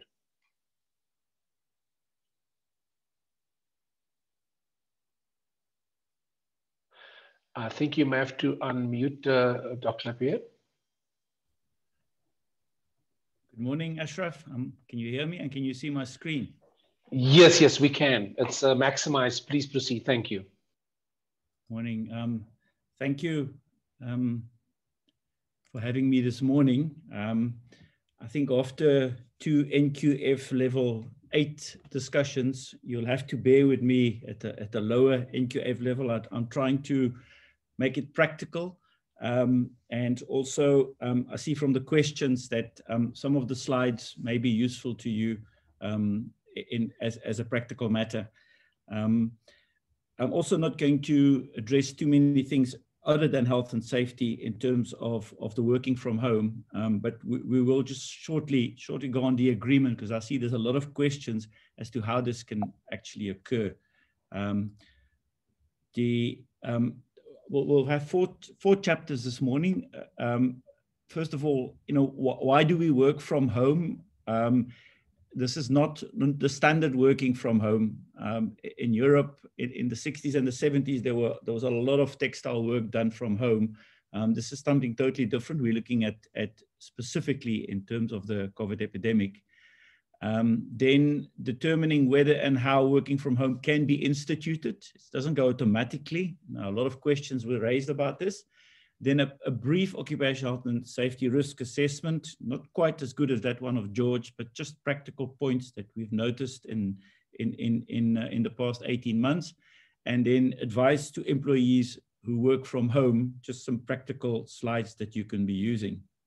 So if we're looking at working from home, it's a general containment at the employer. Evidently, God forbid we go to level five, then you know those that can work from home must work from home. That's the only way you can work. But for the rest, um, you know that the director of the Department of Labor requires employers to send as many employees home as possible. This is contrasting with international law. For instance, in the Netherlands, it's it's it's the other way around. Everybody must work from home unless you can prove that it's different, that, that it's not required. So we, we leave a, a risk-based solution to the employer in terms of COVID. Um, then evidently all the vulnerable employees that we don't want to expose to the masses at the workplace can also be placed at, at home and, and working from home is kind of their solution uh, to being to being able to to level their income and psychosocial needs versus the the biological biological risk of COVID-19. And then obviously a question that came back to, you know, what about people who have to go into quarantine, quarantine, except quarantine emanating from a, a work, a work acquired close contact is not paid for under the basic conditions of employment. So, you know, people say, well, I'm in quarantine, can I work from home because I can continue with my work and some people even under isolation would like to continue working from home. Um, I, I, I, didn't know what the other colleagues were going to talk about in terms of law, um, but I did still sneak in one little slide on, on working from home and the law. And, um, and there's two references there at the bottom, which are interesting to read. Um, the Labor Relations Act uh, uh, definition of a workplace looks at a collective a, a collective definition. So it says where the employees of an employer work. And there was a, um, a, a, labor court case um, where um, it was determined that it's difficult for the Labor Relations Act employers' duties to be executed at the workplace. Um, if somebody works from home and he drinks a beer, if that happened at a factory, it would be unlawful and it would be, it is dictated in general safety regulations that the employer must take action for that. It's difficult to determine that in, at the home place. But the Occupational Health and Safety Act um, is quite clear, um, and as, as uh, Mr. Szana um, indicated, we, we, we safe that, that home can be a workplace within the definition. Um, and then my stance on this was, um, like Mr. Szana, is that how, how, how uh, penetrating is an employer into an employee's home. I'm the boss as an employer at my workplace. I determine what measures are put in place, and I'm in control of those measures, and I must put the resources in place for those measures. That doesn't linearly apply to work. But where you look at the, the liability for health and safety, and, and that re, that's the same to the employer and the employee, um, there, there is a clause that, def, that defines that the availability and the suitability of the means to remove and or mitigate a hazard is what reasonably practicable defines. So um, at this stage, we, we all agreed with the two, the three previous speakers that um, Churchill adagio that never let a crisis go to waste it can be applied here because we can have large legal amendments um, that have to come into place specifically to address this matter. But I don't think we can be frozen until then. Um, to me, an employer will have to make sure that the employee works at, at the home and that home will be a workplace for the employer and the employer will have to reasonably practicable, be, be reasonably practicable to ensure that that workplace is safe. And I'm going to work on that a little bit further. So the first one is you, you have to determine whether and how working from home may be instituted. And so there's factors, there's employee factors, there's employer factors, and there's, there's a, lot of common factors. So the employee factors, does the employee agree to work from home? because um, it's, it's a change of employment. You can say, well, the law says you, you must work from home, but our law, as I said earlier, is not quite as prescriptive as some of the other countries. So, so the employees' conditions of employment will be changed and there needs to be some form of negotiation on that one. Um, does the employee have sufficient adequate physical space and facilities at home? You know, your, some of your employees might, might live in shacks, unfortunately, in South Africa, and that's not probably not the good place to go to go home to and to do laptop work. Is the home environment a safe work environment?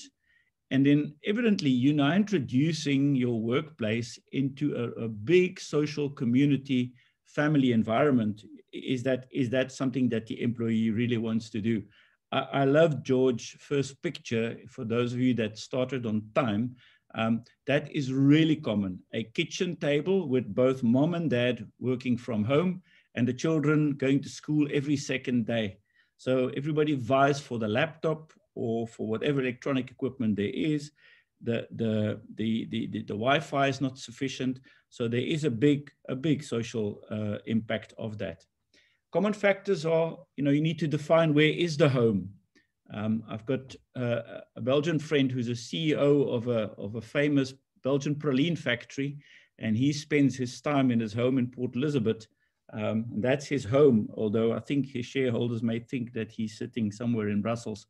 Um, what part of the house will be considered a workplace? There was a, a very, a very important question by somebody raising, um, you know, what if something happens in the kitchen? Is that now, is it now considered an IOD? So I think you, you need to discuss this and you need to debate this. Um, is there sufficient security? A very important aspect. You know, a lot of houses haven't seen fancy electronic equipment or fancy any other equipment to go into there. Now suddenly, you know, that house may be a target. Um, hours of work, when must you be available? Because suddenly you're at home, the boss can phone anytime. Um, are there overtime arrangements if you work overtime? Um, what's the homework?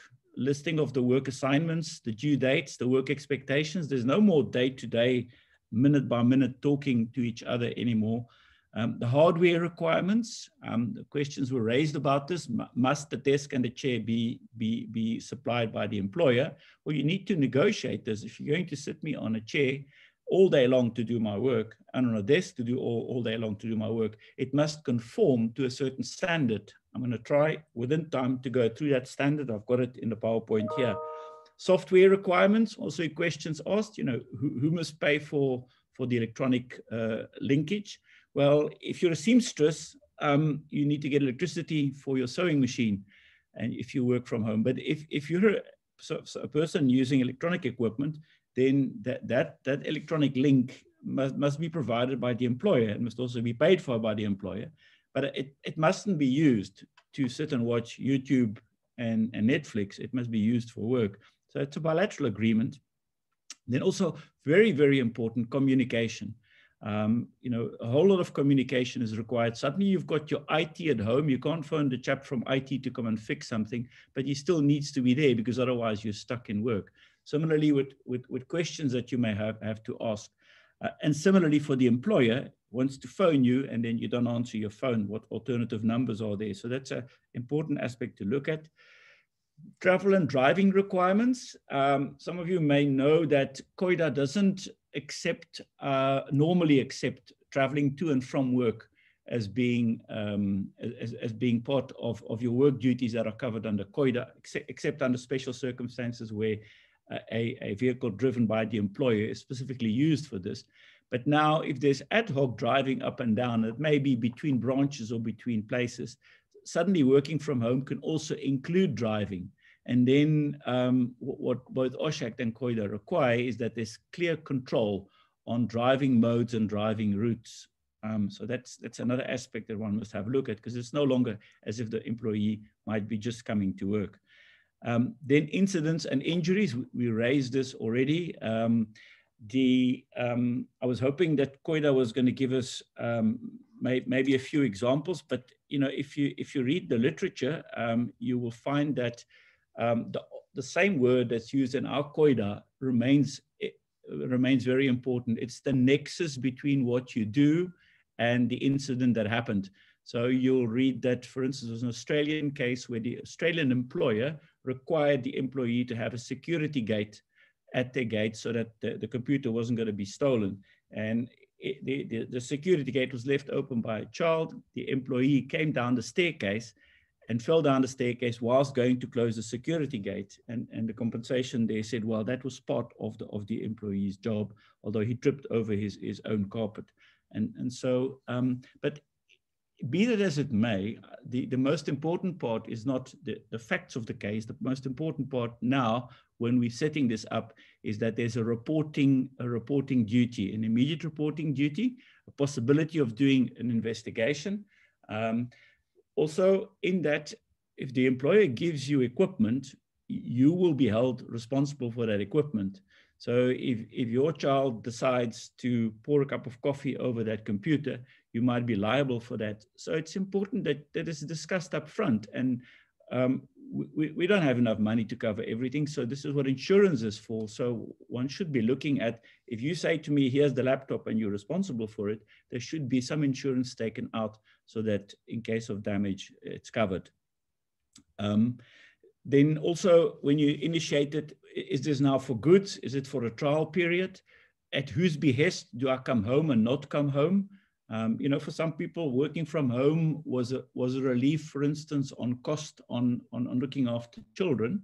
And they gave up contracts. And then suddenly the employer decides, now you must come back again. Now they must get back into the creches. So, so it, it, needs to be determined up front. Key performance areas, this is outside occupational health and safety, but key performance areas must be remained, must, must be in place. Um, and then also, you know, very important, the employee must not be isolated. So there must still be the same notices, the same updates, the, the same the same communication, so that you don't put this employee on an island out there. Um, there, there already are, as we're going to see, enough psychosocial hazards. And then there's employer factors. Um, the employer has to agree to allow certain employees to work from home. There may be technical measures by which somebody that does office work at work all day still cannot go home. So, so that, that probably is a prerogative of the employer to decide. Certainly in South Africa it is, as I said earlier on, not in other countries where, where it's been mandatory to work from home. Um, then also, can the employee's tasks be performed to the required standard? Um, is it be is going to be a full time or part time? So maybe a few days a week. That's also been arrangements that have been made, and then those same arrangements that we set up just now um, as on, on, the employer side. Um, those common factors have got two sides of it. There's an employee side and employer side to it. Certainly, the setting up cannot be just saying pack your bags and go home. If you do it like this, you are you are making sure that there's going to be trouble thereafter. Um, as I said, uh, working from home is mostly administrative, but it can also be fine assembly work at home, seamstress work, textile work. There's plenty other activities that can be done from home. Um, so if we go to the occupational health and safety risk assessment in practice here, I, I, didn't look at the three factors that George looked at. Uh, George is very academic and quite quite comprehensive, and uh, I'd like to use this slide in future. Um, I looked at physical factors, things that can happen physically, and at psychosocial factors. Um, and the physical factors, um, the two most common things that that go wrong is driving and uneven surfaces. For some reason, you know, we are an unstable nation, so people falling at home seems to be the most the most common injury that happens. Obviously, whatever task is being asked to be done, the ergonomics of that task are important. I've seen somebody injuring their back carrying the boxes of paperwork that had to be captured. Um, so that needs to be that needs to be pro properly uh, properly assessed in the risk assessment of the um, of the working for home. Workstation ergonomics, I'll cover that in a minute, a very important aspect if, if workstations are, are there. Air quality, uh, noise, illumination, George raised the, the fact how, how, much lighting they need, and then also fire safety.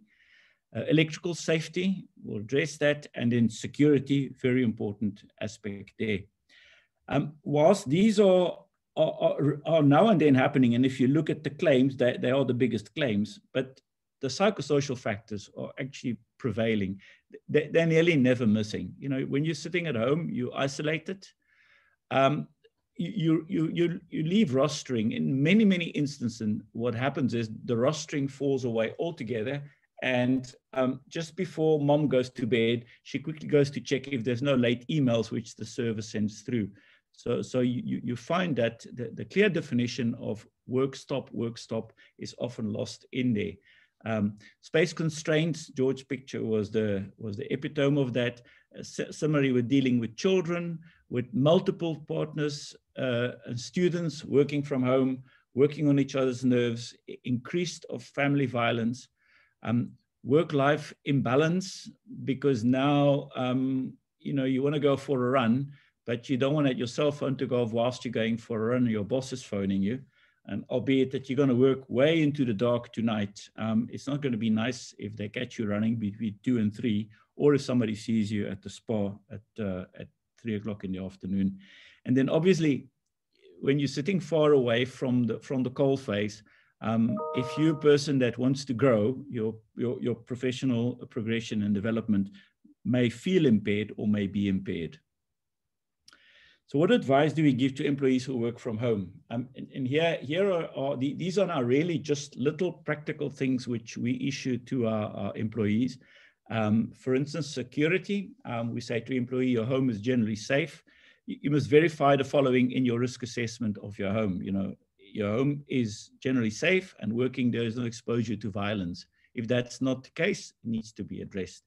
Being at home doesn't pose risk for attacks, burglary, or holds-ups, and your equipment and, and documents are not visible to unwanted persons. You're sitting, sitting in your garden outside in a busy street.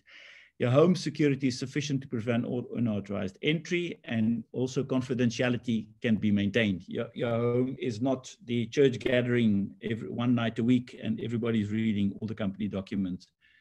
Your emergency uh, arrangements, you must make sure there's a planned escape route in case of fire and that the exit path is reasonably direct.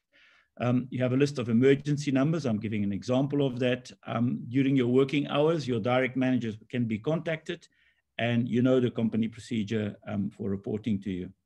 Your working area, sufficient ventilation, lighting and heating, or cooling to enable you to work safely. Your computer work your computer area doesn't make you stay straight in the light or on a, on a, on a, on a light with a, on which the sun shines. Um, you know, heaters, very important. Heat, heaters cause, cause burns and cause fire. Um, your floors even and clear from tripping hazards such as extension cords, rugs, or loose carpets. Um, you're not exposed to excessive noise. You have sufficient space to work and to put everything on. The kitchen table might not be ideal, so you, you might need a, some type of home office and then um, you know you, your your work area must be separated from other areas um, where where more hazardous things occur. Um, stress, identifying your risk assessment that you're sufficiently separated from disruptions such as pets and children to avoid repeated stressful disruption. Um, you have regular contact with your manager, supervisor. You have you have access to IT or anybody in HR or anybody that needs to resolve your work-related matters. Um, and then you also important is when you when you set a, a, bunch of people home, you must have some form of EAP service or some EAP contact or somebody that can just talk when the stress is too much. We discussed the stress comes from many as different aspects. Electrical safety. If you're in a house, whoever owns that house must have an electrical certificate of compliance. If that isn't in place, you must tell me. And as an employer, you might have to take reasonably practical uh, solution to that. You know, some people have electricians who are part of their maintenance team who can go and inspect if that's required. Um, there's an earth leakage unit. I've got a few examples of inspections for that for the employees. There's no damage to electrical equipment. You don't overload a socket. We advise that you, if you buy a, a multi-plug, get one with a, a safety circuit in it. Um, and then also make sure that your extension leads and all, all, all, the equipment that you bought are in their natural state and not fixed with checkers paper bags, plastic bags. Your workstation and your computer. Um, and here we've got a little, a little question here um, at again at the onset and at the risk assessment, we kind of mix up the setup and the risk assessment with these documents that we're going through now. Is um, there must be comfortable leg space at the workstation, a footrest if you if your legs are too short, must be a comfortable chair, um, the height and the viewing distance of your computer, your monitor and keyboard, your telephone. You know, if, if you're going to be on the telephone for a long time, you need some form of headset or, or something that can assist you not to have to have a cramp in your arm. Then work practices, your work requirements at home allow you to adopt, adopt and maintain a safe work posture. Any physical work you do must be like lifting and carrying or pushing, must be within your physical capacity. And then also um, we're looking at your work planning. You know, your day still has to be planned um, with alternatives, with breaks, with coffee breaks, with intervals that are that at intervals that are required. Driving, you can't just climb in your car if it's going to be for work. You know, driving when driving is, is required, it's going to have to be the shortest and the safest route. And if you can't do that, you must sure that you know you have some form of contact at, at the work where an alternative route can be discussed. Then know, employees have to remain informed about the COVID symptoms, social distancing requiring, the non-formal principles, remember that nothing has changed. The, the, the, employer's duty in terms of COVID remain the same at home. So um, I, I, would strongly advise that daily screening or daily reporting of screening remains in place, um, that any symptoms, any symptoms that occur whilst at work, albeit at home, are still being uh, reported to the COVID compliance officer. So whether you're at work or you at work at the workplace or you're at work from home, the same COVID rules apply. Um, and, and it's important that you emphasize this in this epidemic. Um, and then I've got, in conclusion, I've got a few a few little uh, documents which here's a an example of you know um, an emergency number display that you can give your employee. Um, here is a computer checklist for safe seating at a workstation. I'm not going to go through the ergonomics of, of, a, of a safe workstation, but this is the classical ergonomic assessment of the seating at a workstation, of the work, uh, the work posture at the work at the workstation, of the positioning and use of the keyboard and the mouse at the workstation, the positioning of the screen, so they, they can check this out. Um, then there's another checklist for safe tasking at home um, in terms of um, using telephone, um, the work posture uh, eye strain, the 2020 technique is defined in here. Um, and um, then there's a, another one that you can use, for instance, is on your electrical. You know, so it's just a, a, a two-page electrical checklist. This is first pages. Check your DB board. Little picture of, of a DB board. This is this is what it should like. Make sure it's there. Make sure that it's safe. Sure it hasn't got wires dangling all over the show, because then you know that it certainly can't be certified as being compliant. Um, and then very important, eh, well, here's the questions for the uh, home electrical safety, which you put to the uh, put to the employee as, as, as maybe a, a, regular checklist. And then you also, importantly, because you're going to be using electrical equipment, printers, computers, um, you know, your earth leakage is an important part. So there's a picture of an earth leakage unit and also regularly check your earth leakage unit switch. If you, if you trip it, um, then it should, it should go off and it should be no electricity to the plugs. And then a, a last one is your well-being. Very, very important. Maybe the most important one is uh, just some some help on well-being. You know, um, I've stolen this one from Aspen Pharmacare with permission. Um, choose a dedicated workspace and set yourself up for success. Communicate expectations with all those at home um, and tell them about distractions and planned breaks. Create a routine and take breaks as planned. Identify your own high productivity periods and use those at best. Communicate proactively with your team and keep abreast of priorities and keep abreast of your own priorities and the company's priorities and the business priorities. So stay part of the team. Um, use technology to stay connected and remain easy to reach yourself. Um, make time to check in socially with colleagues. Stay hydrated, eat healthy food. Plan and stick to a daily finishing time. And I added on to there also for late emails. Just, just make, make your email protocol once or twice a day, and that's it, end of story. And then make time to exercise and stretch regularly. I thank you for your attention.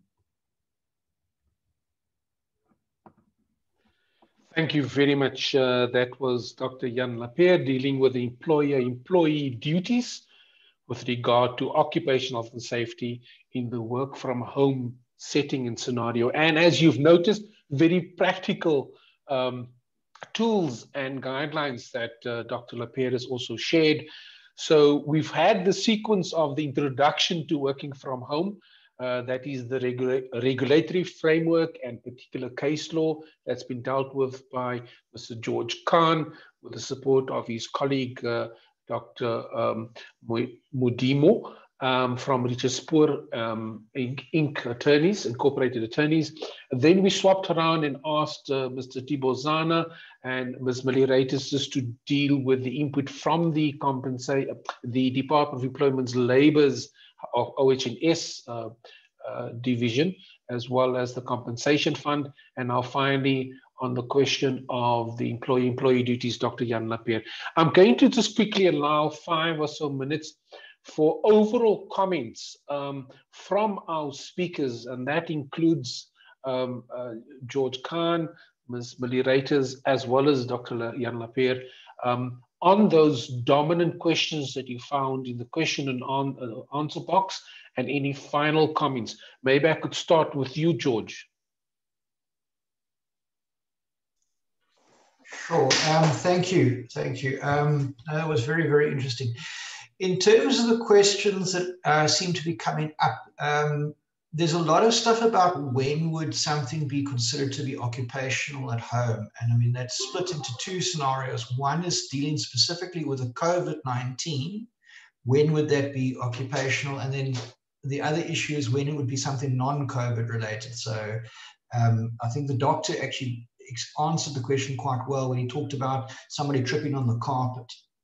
The answer to the question isn't a blanket principle answer. Our courts have basically said that something is occupational when it arises in the ordinary scope and course of a person's employment. Now, that is going to have to be assessed on a case by case basis. Now, our courts, someone asked a specific question about what happens if they get raped at home, that sort of thing. Is that occupational? Our courts have looked at that actual issue. So what happened was there was a doctor who was raped while she was working at a medical hospital. Um, she actually coincidentally sued the government because she was working in a public hospital. And they tried to say, well, COIDA is applicable, it's an occupational issue, and therefore that grants them the immunity. The court said that that is not the case. And the reason for that is because the rape is not something that would ordinarily one would expect to happen in their normal work environment. Same, I would say, with certain robberies. I mean, I understand that there are certain professions that contemplate some sort of um, crime aspects. If you're a security guard, maybe you can say if you get into a scuffle with a robber, that's part of your job. But for majority of people, if you are involved in some sort of criminal thing and you are injured as a, a consequence of it, that may not be occupational. However, it also depends on the particular case. So what might be is, is maybe you are trying to run in order to secure your colleagues at work. Um, so you're trying to close the gate or something like that and you trip and you fall or something like that, or you're doing something which you've been instructed to do for security purposes by the employer, that would fall within the scope of your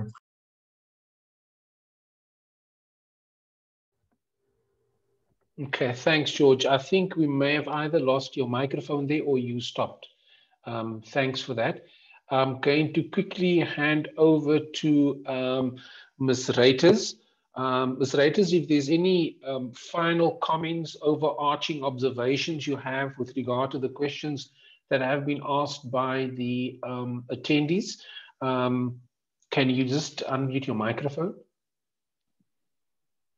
Okay, so I think uh, what people are asking is if there's going to be guidelines that will be issued by the Department of Employment and Labor and the compensation fund. The answer to that is yes.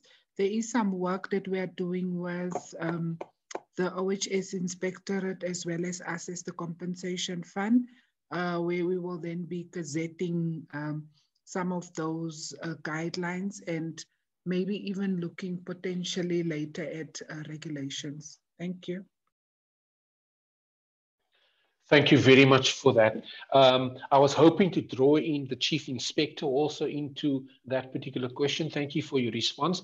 Unfortunately, because of um, other obligations, he's had to leave us as soon as he had done his presentation. Thanks for that, Ms. Reiters. Over to Dr. Jan Lapere. You, have heard the other presentations, you've seen the question, question, answer box. What's the final critical comments you would like to leave our attendees with before we conclude?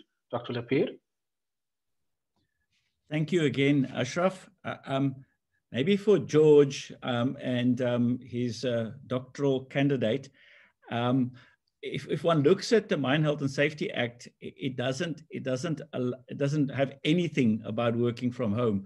You're not an employee if you work from home, and the workplace is not from home. So my question is, um, and it probably doesn't have to be answered here, but it's it's a academic legal question is, would it then not be that the employee who, who works for a mining employer falls under the Occupational Health and Safety Act when he or she works from home?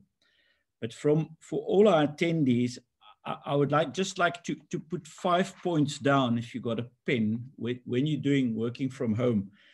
Um, what's happening now mostly is people are sent home and they more or less scratch themselves through the whole through the whole predicament.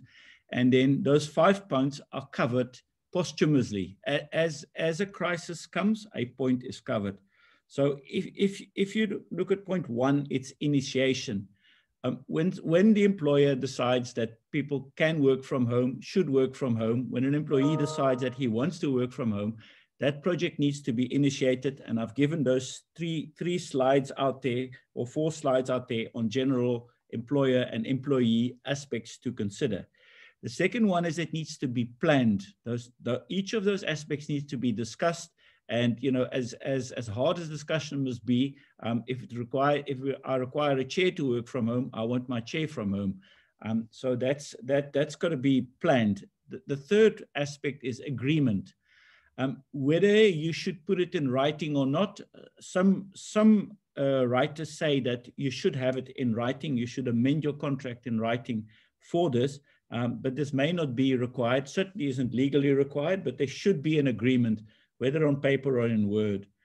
Then the fourth aspect, there must be a risk assessment. Uh, you, you, you, probably won't be able to go to the employee's house and do the risk assessment. So you can issue those documents, those, those, those examples that I've given and make them more comprehensive if you want to, to make sure that uh, the employee does a self-inspection, a risk assessment, and those risks are then brought back to the number two planning and to number three the agreement so that finally that employee can work safely at home and then as on an ongoing basis it, it's it's good to require those self inspections like the electrical one like the ergonomic one. So that's the five initiation planning agreement risk assessment and self inspection ashraf?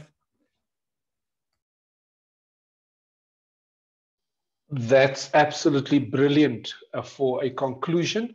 Um, I am now going to just thank all of our guest speakers. They have again taken the time to prepare as well as to take the time to present and deal with all of our questions today.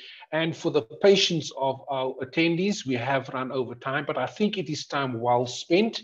Um, sometimes one plans a webinar, Dr. Lapere, and then we got to do an assessment when things don't go so well. Um, but I think today has been an, an amazing um, session again. It's on one of those uh, maybe soft and fuzzy topics that uh, we don't always openly speak about. And we've had the great advantage of, and I keep on saying Dr. Mudimu, my apologies, a PhD student, um, Mudimu. um, I'm catching up with myself and um, the senior associate, Mr. George Khan from Richard Spoor Incorporated Attorneys. Gentlemen, thank you very much always for being available when called upon to assist us in our webinars. And then to uh, the Chief Inspector, Mr. Tibor Szana, uh, that's uh, in the um, OHS section of the Department of Employment and Labor, and his colleague, Ms. Millie Reiters, who's the Chief Director for Medical Services at the Compensation Fund, an important division also of the Department of Employment and Labor. Thank you very much, uh, sir and lady, for your contributions and then finally, again, Dr. Jan Lapere has just taken us home and we'll be concluding in a moment. Um, I noticed that there are some questions there in the, in the question and answer box. I'm going to ask our uh, presenters to hold on for a few minutes, have a quick look again at those. I think it's um, hopefully nobody's going to say thank you and very insightful um, in the question and answer box. We need to keep that box clear and we need to now um, conclude all the um, uh, questions there. So please don't add any more thank yous in the question answer box. Type it in the chat box, please, not in the Q&A box. So, and thank you very much, everybody. This is where I'm concluding. We'll see you in the next webinar. For your information, our next webinar next week is going to deal with the question of uh, long COVID on Thursday, the 8th of July. Um, that is long COVID in the workplace, an update by some of our specialists there. Um, there is a separate construction webinar on Friday the 9th. And then we continue with um, on uh, Thursday, the 15th of July, with COVID-19 and skin conditions in the workplace. And hopefully, if all falls together, we will deal with the other soft, sort of fuzzy topic of droplets is it the dominant form and the route of transmission versus aerosols, or is this now also a key and important route of transmission which you consider? And looking at aerosols, we need to obviously consider ventilation. That hopefully will be consolidated for the 22nd of July. And on that note, thank you very much for joining the NIOH again here on another one of our COVID-19 webinar series. Goodbye.